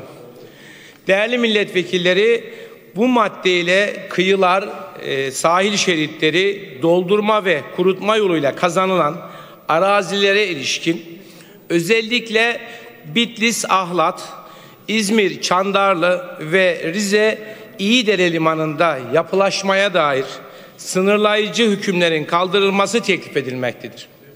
Özellikle sahil şehitlerinde doldurma yoluyla kazanılan araziler göçük ve çökme riskinin yüksek olduğu arazilerdir. Değerli milletvekilleri, konu ile ilgili olarak Doğu Karadeniz bölgesini ele alarak riskin büyüklüğüne dikkatinizi çekmek isterim. 1996 yılında yayınlanan Türkiye deprem tehlikesi haritası Doğu Karadeniz'in aktif faylarını dikkate almamış. Bu nedenle bölgenin gerçek deprem potansiyeli belirlenememiştir. Ancak 2012 yılında Karadeniz'de Batum açıklarında Trabzon fayı üzerinde oluşan 5.7 büyüklüğündeki depremin artçıları Trabzon ve Rize illerimizi tehdit ettiğinden 2018 yılında yenilenen ve revize edilen Türkiye deprem tehlikesi haritasında Trabzon'un deprem tehlikesi iki kat, Rize'ninki ise üç kat artmıştır. 22 yıl gecikmeyle yenilenen ve revize edilen Türkiye deprem tehlikesi haritası Trabzon ve Rize'de deprem güvencesi yetersiz yapı stoklarının ve deniz dolgu alanlarının olduğu gerçeğiyle artık yüzleşme zamanının geldiğini ortaya koymuştur. Bu sorun halı altına süpürerek üzeri örtülecek bir sorun değildir. Konunun uzmanları ve sivil toplum örgütleri özellikle Rize ilimizde yaklaşık 70 bin kişinin yaşadığı binlerce konut ve ticarethanenin bulunduğu 350 bin metrekare deniz dolgu alanında olası bir deprem şiddetinin 5 kat daha artacağını ifade etmektedirler. Konu ile ilgili olarak 21 Aralık 2018 tarihinde Türkiye Büyük Millet Meclisi Başkanlığına bir araştırma önergesi vermiş ve bu dolgu alan için bir kentsel dönüşüm projesinin bir an önce hayata geçirilmesini önermiştim. İnşallah gündeme alınır ve gerekli tedbirlerin alınmasına bizim de bir katkımız olur diye düşünüyorum. Değerli milletvekilleri, dolgu alanı üzerine yapılan üst yapı inşaatlarının önemli bir kısmının temelleri deniz suyunun etkisiyle korozyona uğramış ve bu durum hala daha devam etmektedir. Binaların temelleri ve kolonları hem deniz suyu hem de aşırı yağmurlar nedeniyle yüzey sularının etkisiyle zayıflamaya başlamış hatta çürümeye yüz tutmuştur. Dolgu zeminlerin üzerine yapılan inşaatların emniyetli taşıma kapasiteleri zayıftır. Bu Rize ilimizin dolgu alanında yeraltı ve yerüstü sularının etkisiyle daha da zayıflamıştır. Dolayısıyla Rize ili dolgu alanı üzerindeki binaların Allah korusun çökme, yan yatma ve yıkılma gibi riskleri de artmıştır. Sadece üst yapı inşaatları değil, aynı zamanda altyapı inşaatları da yani kanalizasyon, su, doğalgaz, elektrik, telefon ve benzeri boru ve kablo hatları da önemli risk altındadır. Rize'deki durumun bir benzeri kendi şehrim Trabzon için de söz konusudur. Yer altı suyu 75 santimetre derinde olan Trabzon Akyazı deniz dolgu alanı üzerinde yapılan ve yapılması planlanan projelerde de benzer sorunların yaşanması ihtimali maalesef ki büyüktür. Değerli milletvekilleri, hinterlantı dar olan fakat sürekli büyüyen Rize ve Trabzon gibi illerimizde denizden yer kazanmak adına dolgu yapılması günümüzün bir gerçeğidir. Ancak 1990 yılında yayınlanan kıyı kanunun uygulamasına dair yönetmelik bugünkü haliyle Tamamlayın Sayın Öz. 1990 yılında yayınlanan kıyı kanunun uygulanmasına dair yönetmelik bugünkü haliyle planlı ve denetimli dolgu alanlarının oluşturulmasında yetersiz kalmaktadır. Bu nedenle deniz dolgularının yeterli gerekçeleri, deniz ekolojisinin korunması, jeolojik, jeofizik, sondaj ve zemin etütlerinin niceliğini, niteliğini belirleyen ve ciddi kontrolünü sağlayan bir deniz dolgu yönetmeliği hazırlanarak bir anca bir an önce uygulamaya konulmalıdır. Hepinizi en derin saygılarımla selamlıyorum. Teşekkürler Sayın Öz. Aynı mahiyetteki diğer önergenin gerekçesini okutuyorum. Gerekçe. Bu madde ile her alanda kendilerini doğa sever olarak lanse ettirmeye çalışan AK AKP yetkilileri doğanın doğallığını mühendislik oyunları ile yerle bir etmeye devam etmektedir. Söylemde kıyıların betonlaştırıldığı, insanların to- topraktan uzaklaştırılıp dikey mimariye mahkum edildiğini söyleyen AKP'liler söz konusu kanun teklifiyle tabir yerinde ise bugüne kadar yaptığımız doğa katliamı bundan sonra yapacaklarımızın göstergesidir demektedir. Kıyıları betonlaştırmak istenen yerlerden biri de Bitlis'in Ahlat ilçesidir. Cumhurbaşkanının yeni bir saray isteğiyle yerel yöneticiler tarafından 10 bin metrekarelik alanın tahsis edileceğini ancak topografik yapıdan dolayı yer olmadığını ve kıyıların betonlaştırılması gerektiğini belirtmektedirler. Rize'de bir lojistik merkezine gerek olup olmadığı Hopa ve Rize limanlarının ihtiyacı giderip gideremediği konusunda bir çalışma yoktur. Projenin gerekçeleri anlatılırken 2008 verileri kullanılmıştır. Bu verilere göre deniz taşımacılığının %25'i kömür ithalatı içindir. Deniz yoluyla gelen kömür bölge illerine taşınıyor ancak sadece 2008 verileri üzerinden bir dolgu çalışması oldukça yanlış olacaktır. Çünkü kömür ithal edilen bölgeler doğalgaz kullanımına geçeceği zaman yapılan doğa katliamı ve yatırım atıl olacaktır. Buna göre kömür kullanımı veya talebi bitince yapılacak olan bu işte ortadan kalkacaktır. İyidere Lojistik Merkezi projesi dosyasına baktığımız zaman projenin inşaat aşamasında dolgu için yaklaşık 4 milyon 630 bin ton anroşman taşın kullanılması planlanmaktadır. Rize İyidere arası 16 kilometre yani 21 dakika civarındadır. Lojistik limanda depolama, ulaşım, idari ve ve benzeri amaçlarla kullanılacak diğer yapıları da inşa etmek adına yaklaşık 450 bin metrekarelik bir geri saha dolgu alanı planlanmıştır. Bu projenin bedeli 700 milyon TL'dir. Bu kadar planlama doğanın hiçbir devinimini göz önünde alınmadan yapılmaktadır. Bu nedenlerle ilgili maddenin kanun teklifinden çıkarılması gerekmektedir. Aynı mahiyetteki önergeler üzerinde söz sırası İstanbul Milletvekili Mehmet Bekaroğlu'ya aittir.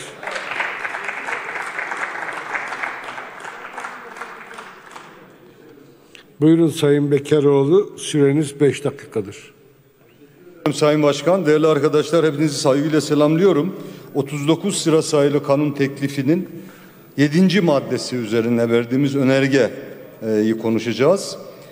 Bu e, madde e, ekli e, krokide sınır ve koordinatları belirtilen Rize dolgu alanı bu üniversite için Bitlis Ahlat'ta devlet konutları ve Çandarlı ve yine Rize İğdere'de liman için e, bir kıyı dolgusu yapılacak. Bu nedenle e, kıyı kanunundan muafiyet isteniyor. Değerli arkadaşlarım, Yani e, gerekçede de belirtilmiş gerçekten Rize'de e, alan çok sınırlı. Doğru. Fakat e, bunu bu bugün çıkmadı bu problem. Yıllardan beri var ve biz yıllardan beri uyarıyoruz. Ben 20 seneden beri Rize'de siyaset yapıyorum ve e, hep de muhalefette kaldım. Önce Anavatan Partisi e, hükümeti daha sonra MHP'de dahil oldu onları uyardık. Sonra 16 seneden beri de Adalet ve Kalkınma Partisi hükümetini uyarıyoruz. Üniversite ile ilgili özellikle çok uyardık. Rize'de bu üniversite şehir içinde olmaz. Yanlış yapıyorsunuz. Dinlemediler. Şehir içinde her tarafta üniversite yaptılar. Üniversite binası yaptılar. Öyle ki üniversite binası ile vatandaşın evinin pence- penceresi arasında iki metre mesafe olan yerler var değerli arkadaşlarım. Oysa Rize'de 6-7 kilometre yukarıda Isırlık diye bir yer var. Burada çoğu da kamuya, hazineye ait olan 500 dönüm bir arazide bir Rize Üniversitesi, Rize Recep Tayyip Erdoğan Üniversitesi kampüsü kurun dedik. Çıkamayız kışın oraya dediler. Ya arkadaşlar Erzurum 2200 e, metre rakımdadır.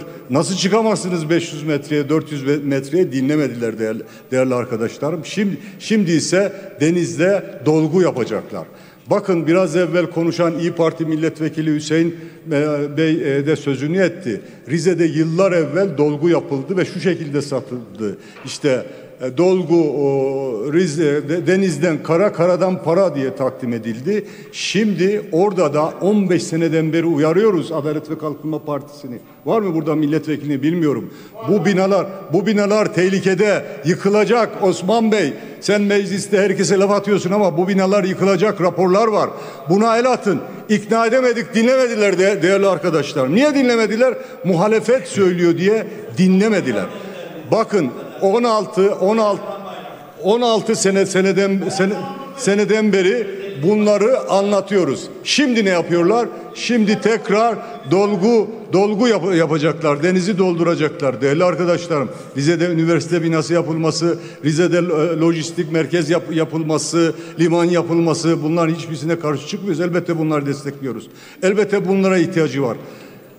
Şehir hastanesi, şehir hastanesi içinde geçen sene plan bütçe komisyonundan geçti. Aynı şekilde dol- dolgu ya- yapılacak şehir hastanesi ama henüz bir kuruş para ayrılmış değil. Daha hiçbir şey yapılmadı.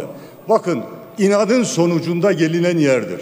Bugün 16 senelik Adalet ve Kalkınma Partisi hükümetinden sonra Rizelilere de buradan bir teessüfümü bildiriyoruz. Bütün bunları anlattık. Defalarca da karşılarına çıktık. Bunlar yanlış yapıyor dedik. 2014 seçimlerinde belediyede yapılacak bütün bu sıkıntıları anlattık. Dinlemediler. Dinlemediler. Hemşerimiz falan dediler. Sanki biz Batum'dan gelmiştik. Rey, rey vermediler. Canları sağ olsun. Dinle, dinle, dinlemediler. E şimdi gelinen yerde Rize şehir olmaktan çıkmıştır değerli arkadaşlarım. Bu yapılanlarla daha güzel olmuyor. Daha çok iş alanı da açılmıyor ma- maalesef. Rize bir inat uğruna tahrip edilmiştir. Kimseyi dinlemiyorlar. Biz nasıl olsa Cumhurbaşkanı var. Cumhurbaşkanı ne dersen Rizeli'de oy verecek. Yerel siyasetçiler Sayın Osman Aşkın Bak da cevap hakkı tanıyorum burada. Osman, Osman Aşkın Bak, Bak dahil bu kolaylığa yenildikleri için Rize'ye hiçbir şey yapamamışlardır. Aslında milyarlarca lira para aktarılmıştır değerli arkadaşlar. Ama bir tane artı bir istihdam yaratılamamıştır değerli arkadaşlarım. Bir Çaykur'a ve çaya esir edilmiştir Rize. O çay ve çay, çay, Çaykur'da sınırlara gelmiştir. Çaykur şu anda varlık fonunda ne olacak ne olmayacak belli değil.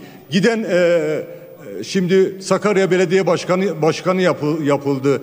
E, Çaykur Genel Genel Müdürü işçilere ne dedi biliyor musunuz geçici işçilere?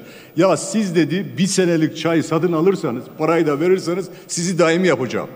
Ama bu, bu adam Bakın bir daha tekrar ediyorum. İşçilere dedi ki geçici işçilere bir senelik çay satın alırsanız sizi daimi işçi yapacağım. Değerli arkadaşlar böyle bir devlet var mı? Böyle bir kanun var mı? Böyle bir dü- düz- düzen var mı? Bu adam şimdi Sakarya'ya belediye başkan başkan adayı oldu. Bu Rize'de yapılan şey bu. Bu dolgu ve yapılan bu kadar e, yatırıma rağmen Rize'de yaşam çok zor. Sayın Osman Aşkın bak. Teşekkür ederim. Teşekkürler Sayın Bekaroğlu. ハハハハ。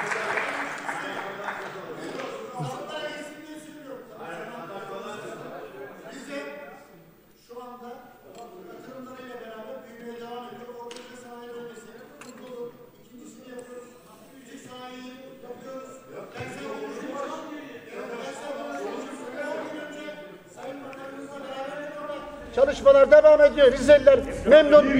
Cumhurbaşkanından memnun. Sandığa gömüyor. 14 se 14 seçimdir sandığa gömüyor. Teşekkürler. 3-0. 3-0. Kendisi de aday Aynı mahiyetteki önergeleri oylarınıza sunuyorum. Kabul edenler, kabul etmeyenler, önergeler kabul edilmemiştir.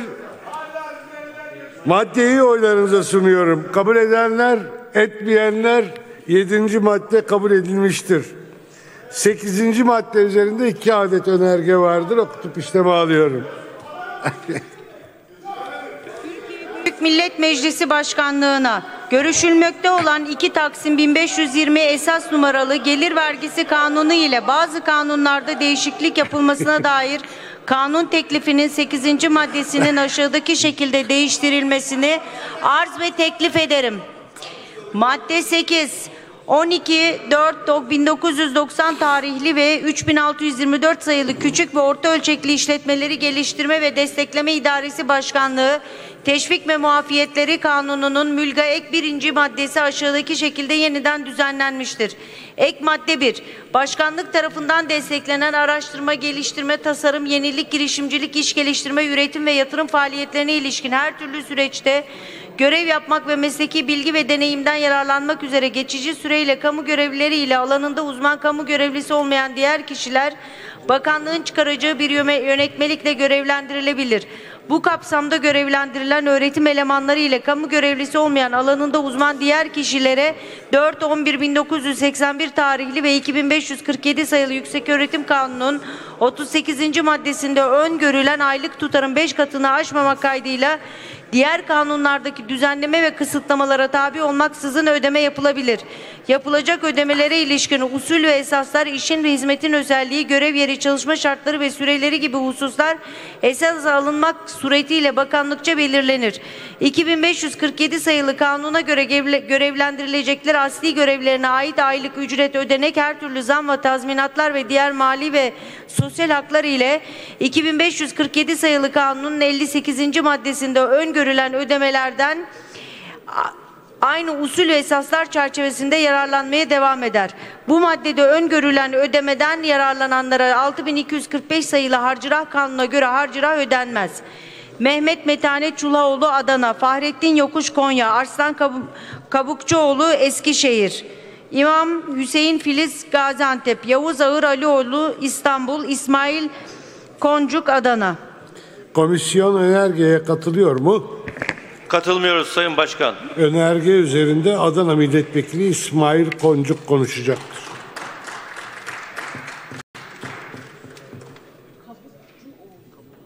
Buyurun Sayın Koncuk, süreniz 5 dakikadır.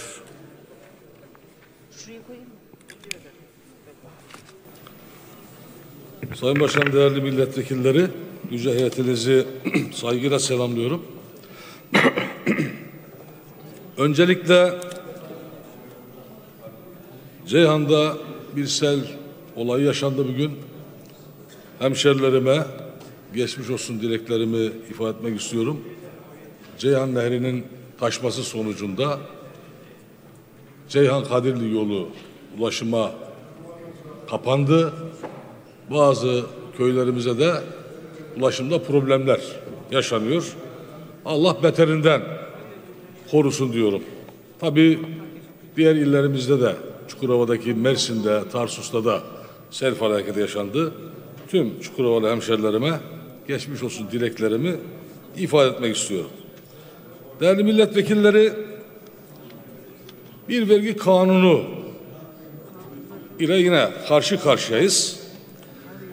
Aslında yani böyle dişe dokunan çok fazla değişiklikler yok. Yani vergi kanunu ifadesi son derece önemli bir ifade ama böyle etkileyici, çarpıcı, vatandaşlarımızın, milletimizin beklentilerini karşılayan bir değişiklikle karşı karşıya olmadığımızı burada ifade ediyorum. Bütçe Plan Komisyonu üyemiz İsmail Tatlıoğlu da buradaki bazı maddeleri İyi Parti grubu olarak desteklediğimizi zaten ifade etti. İşte evde üretilen ev hanımları diyor burada ama havlu, çorap, örtü, çarşaf ve benzeri ürünlerin vergiden muaf olması konusu elbette önemli. Tabi burada çok gündeme geldi ama biz İyi Parti olarak bir kere daha gündeme getirelim. Bu 30 bin lira civarındaki vergi muafiyetinin yeterli olmadığını, bunun zaten yüzde 70-80'inin ana mal gider olduğunu zaten hepimiz biliyoruz. Dolayısıyla çok fazla büyük bir rakam değil. Bunun iki katına çıkartılması zaten AK Parti grubunun da komisyon başkanımız da burada Süreyya Bey de ifade etti. Ama bunlar maalesef birçok kişinin kabulü olmasına rağmen kanun maddesi haline gelmedi. Enteresan bir durum. Yani bu kadar aklı selim, herkesin kabul ettiği maddelerin dahi burada düzeltilerek Türkiye Büyük Millet Meclisi Genel Kurulu'na gelmemesini de anlamakta zorlanıyoruz. Tabii yedinci madde evlere şenlik bir madde. Bilhassa Sayın Cumhurbaşkanı'nın benden önceki milletvekilleri de Sayın Cumhurbaşkanı'nın o konuşmasını okudu. Ben de kendi üslubumca okuyacağım. Diyor ki Sayın Cumhurbaşkanı denizlerimizin kenarlarını orman alanlarını betona çevirme gayretinde olanlar var. Şu para var ya nerede muktedir?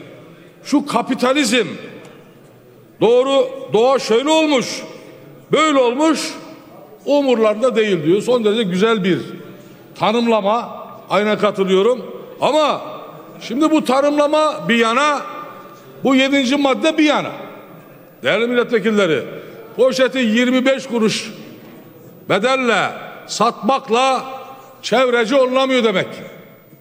Şimdi Sayın Cumhurbaşkanı vatandaşın huzuruna çıkacak, deniz kenarlarının betona çevrilmesinden rahatsızlığını ifade edecek ama Rize'de, İzmir'de, Ağlat'ta deniz ve göl kenarlarını biz betona çevireceğiz.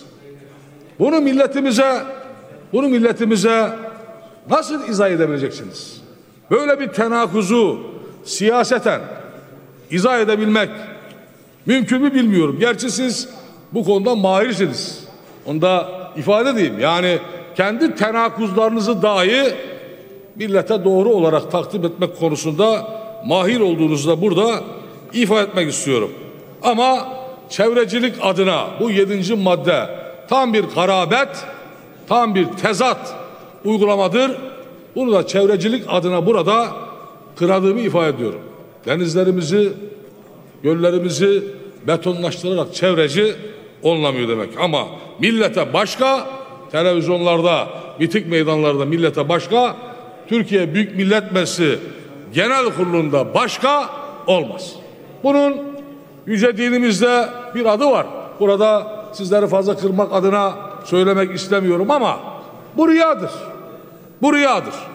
Yaptıklarımızla Tamamlayın Sayın Koncuk. çelişiyorsa bunun adına riya deniliyor.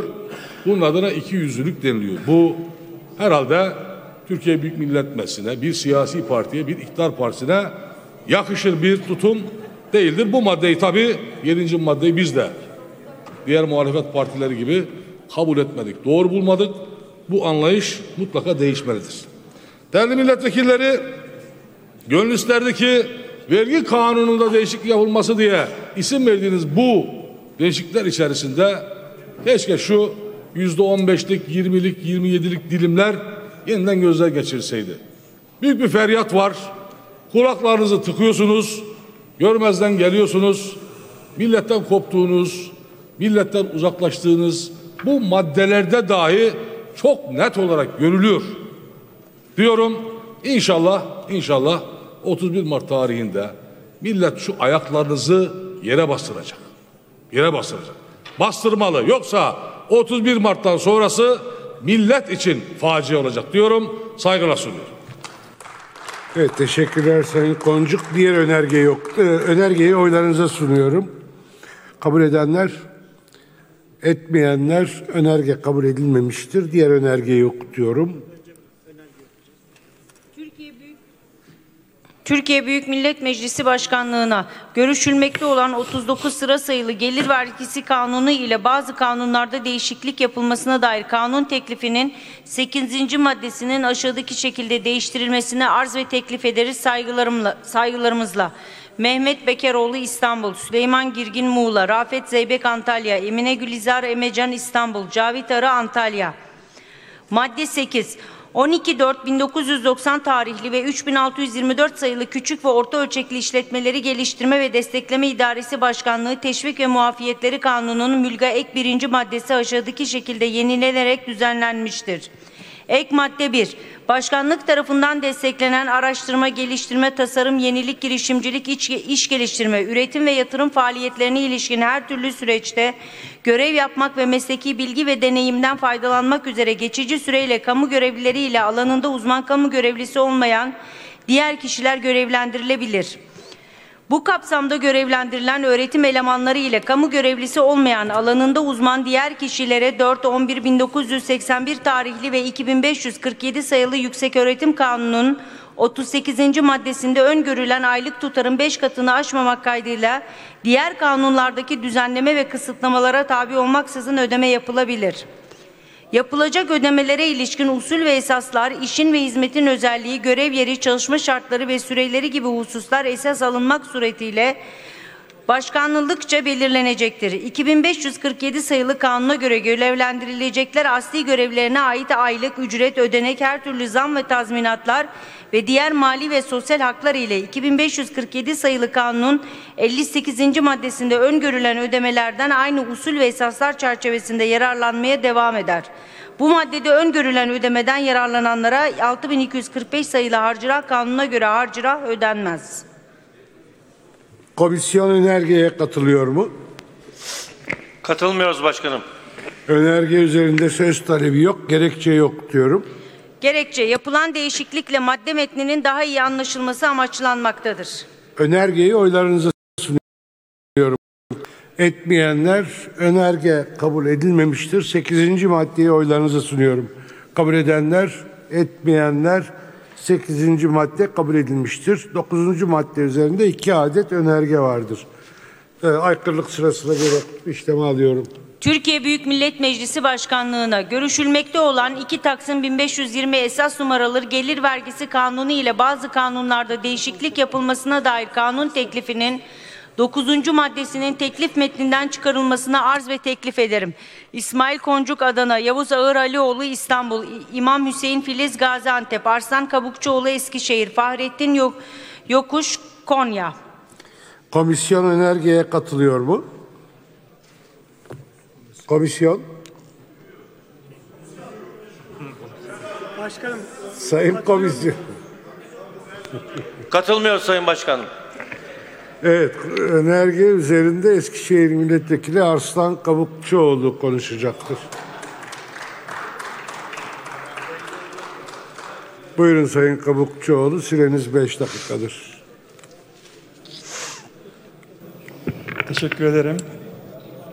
Sayın Başkan, değerli milletvekilleri, 39 sıra sayılı kanunun kanun tasarısının 9. maddesi için İyi Parti adına söz almış bulunuyorum. Hepinizi saygıyla selamlarım. Türkiye İstatistik Kurumu Kasım 2018 verilerine göre ülkemizde 11 milyondan fazla otomobil bulunmaktadır. Bu araçların %39 kadarı LPG'lidir. LKB'li araç, LPG'li araçlar klasman olarak nispeten düşük güçte ve düşük konfordadır. Pek çok durumda araç bir aile için mecburiyetler listesine girmektedir. LPG'li araçların yakıt almasını kolaylaştıracak fırsatların sağlanması yerinde olmuştur.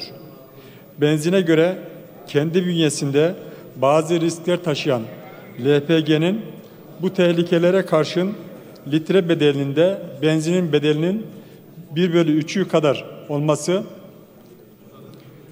bu aracı kullanacak insanlarımıza sosyal yardım olacaktır.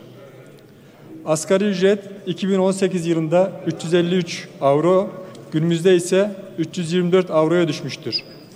Asgari ücretle geçinen 6 milyon 700 bin kişi ve asgari ücret altında 1 milyon 800 bin kişi yaşamaktadır. İyi Parti'nin teklif ettiği asgari ücreti, ücretin vergi dışında bırakılması talebi normalde bu ailelere bir rahatlık getir, getirecekti. Aslında hükümette konunun farkındadır. Ev kadınlarının kazancının bir nevi vergi dışı bırakılması ve onların onları üretime teşvik etmek, evde üret, üretimi teşvik etmek aynı zamanda hükümetin aczinin bir ifadesidir. Ne çare ki gelir garantili yollar, köprüler, tüp geçitlerden, hastanelerden vatandaşa verecek para kalmıyor. Evinde ufak çapta üretim yapılmasına erkekler de evin erkekleri de dahil olacaktır. Erkeklerde istihdamın yüzde 65, kadınlarda yüzde 30 olduğunu düşünürse düşünürsek yine de bu işten en çok yararlanacak olanlar kadınlardır. Doğrusu ev işi ile uğraşan kadınlar evlerindeki sınırlı konfordan fedakarlık etmek zorundadırlar. Evlerinin bir kısmını yapacakları bu işlere ayıracaklardır. Evlerini aynı zamanda iş yeri haline getireceklerdir. Eşler, çocuklar da işe müdahil olacaktır. Bunlar oyalanıp duracaklar. El emeği, göz nuru, örgü, dantel veya erişte, tarhana ne kadar insanlığın insanların yoksulluğuna çare olabilir ki? Bu olsa olsa onların yoksulluk, yoksulluklarına katlanmalar için yoksulluğu kendilerine bir kader bilmeleri için bir araç ola, araç olabilir. Bu durum aslında Eskişehir'in Çamlıca mahallesindeki Gündoğdu mahallesindeki oturmakta olan, yaşamakta olan vatandaşlar için biraz daha oyalanma olabilir. Devlete düşen insanları pek çok yerde sadaka bile sayılmayacak gelirlere mahkum etmek yerine kişi başına 10 bin dolar olduğu iddia edilen gayri safi milli hasılanın eşit olarak dağılmasını sağlamak olmalıdır. Varsayalım ki insanlar emek zahmet bu işe başladılar. Bin bir emekle belli bir düzeye getirdiler. Tam bellerini doğurtacaklarken bu sefer de vergi memurları tepelerine dikilecektir. Büyük iş insanlarından, müteahhitlerden bir şey alamayan devlet, emin olunuz bu insanlardan elini hiç çekmeyecektir. 50 yıl önce Hindistan'daki Bangladeş'tekine benzeyen, insanlara refah getirmeyen yöntemlere ümit beslemek, 17 yıllık AK Parti hükümetinin ülkeyi getirdikleri hazin noktadır. Dar gelirler için yapılması gereken böyle palyatif çözümler değil, eğitimde, ahlakta, adalette ülkeyi çağdaş seviyelere getirmek, yani orta gelir tuzağından ülkeyi çıkartmak olmalıdır. Hepinize saygılar sunarım. Teşekkürler Sayın Kabukçuoğlu. Önergeyi oylarınıza sunuyorum. Kabul edenler, etmeyenler önerge kabul edilmemiştir. Diğer önerge yok diyorum. Türkiye Büyük Millet Meclisi Başkanlığına görüşülmekte olan 39 sıra sayılı gelir vergisi kanunu ile bazı kanunlarda değişiklik yapılmasına dair kanun teklifinin 9. maddesinin aşağı, aşağıdaki şekilde değiştirilmesini arz ve teklif ederiz. Saygılarımızla Mehmet Bekaroğlu İstanbul, Süleyman Girgin Muğla, Kamil Okyay Sındır İzmir, Emine Gülizar Emecan İstanbul, Cavit Arı Antalya, Madde 9, 2-3-2005 tarihli ve 5307 sayılı sıvılaştırılmış petrol gazları LPG piyasası kanunu ve elektrik piyasası kanununda değişiklik yapılmasına dair kanunun 5. maddesinde bulunan ikinci fıkrasının ikinci cümlesiyle 7. fıkrasının üçüncü cümlesi yürürlükten kaldırılmış ve dördüncü fıkrasının birinci cümlesi aşağıdaki şekilde değiştirilmiştir. Dağıtıcıların teknik düzenlemelere uygun depolama ve veya dolum tesisine sahip olması zorunludur. Komisyon önergeye katılıyor mu? Katılmıyoruz Sayın Başkan. Önerge üzerinde İzmir Milletvekili Kamil Okyay Sındır konuşacaktır. Buyurun Sayın Sındır, süreniz 5 dakikadır. Sayın Başkan, değerli milletvekilleri, 39 sıra sayılı e, ba- e, gelir vergisi kanunu ile bazı kanunlarda değişiklik yapılmasına dair kanun teklifinin 9. maddesi üzerine Cumhuriyet Halk Partisi adına söz almış bulunuyorum. Tabii bu sözümü önce sorularla başlamak istiyorum sözüme. Birinci sorum şu değerli arkadaşlar. Türkiye Cumhuriyeti anayasanın ikinci maddesinde de belirtildiği şekliyle acaba gerçekten demokratik, gerçekten laik, gerçekten sosyal ve gerçekten bir hukuk devleti midir? Bunun demokrasi, laikliği ve sosyal devleti tartışmayacağım burada. Ama hukuk devleti üzerinde birkaç sözüm var. Örneğin Sayın Cumhurbaşkanı anayasanın 103. maddesi uyarınca hepimizin önünde, milletin önünde bir and içiyor, tarafsızlık yemini ediyor, uyuyor mu? Bu sorunun yanıtı hepimiz tarafından e, gayet iyi biliniyor aslında. Kimimiz açıkça hayır diyebiliyor, kimimiz hayır e, derse başına ne iş geleceğini düşündüğünden e, bu konuda e, düşüncelerini kendine saklıyor. Bir başka soru. Örneğin Türkiye Büyük Millet Meclisi Başkanı anayasanın 94. maddesinde belirtildiği gibi Meclis Başkanı, Başkan Vekilleri, üyesi bulundukları siyasi partinin veya parti grubunun meclis içindeki veya dışındaki faaliyetlerine katılamazlar hükmüne uyuyor mu? Gidip İstanbul Büyükşehir Belediye Başkanlığı için bir siyasi faaliyet gerçekleştirirken aynı gün gelip meclis çatısı altında hepimizin bir başkanı olarak e, görev devam ediyor mu? Bu görevini sürdürüyor mu? Şimdi değerli arkadaşlar, örneğin seçimlerde mühürsüz oy pusulası, mühürsüz zarflarla kullanılan oylar kanun emretmesine rağmen Yüksek Seçim Kurulu tarafından ki bir yargı organı olarak, yüksek yargı organı olarak yetkisini de aşarak tam kanunsuzluk yapıldı mı? Bu oylar geçerli sayıldı mı? Daha bunu daha nicelerini sayabiliriz.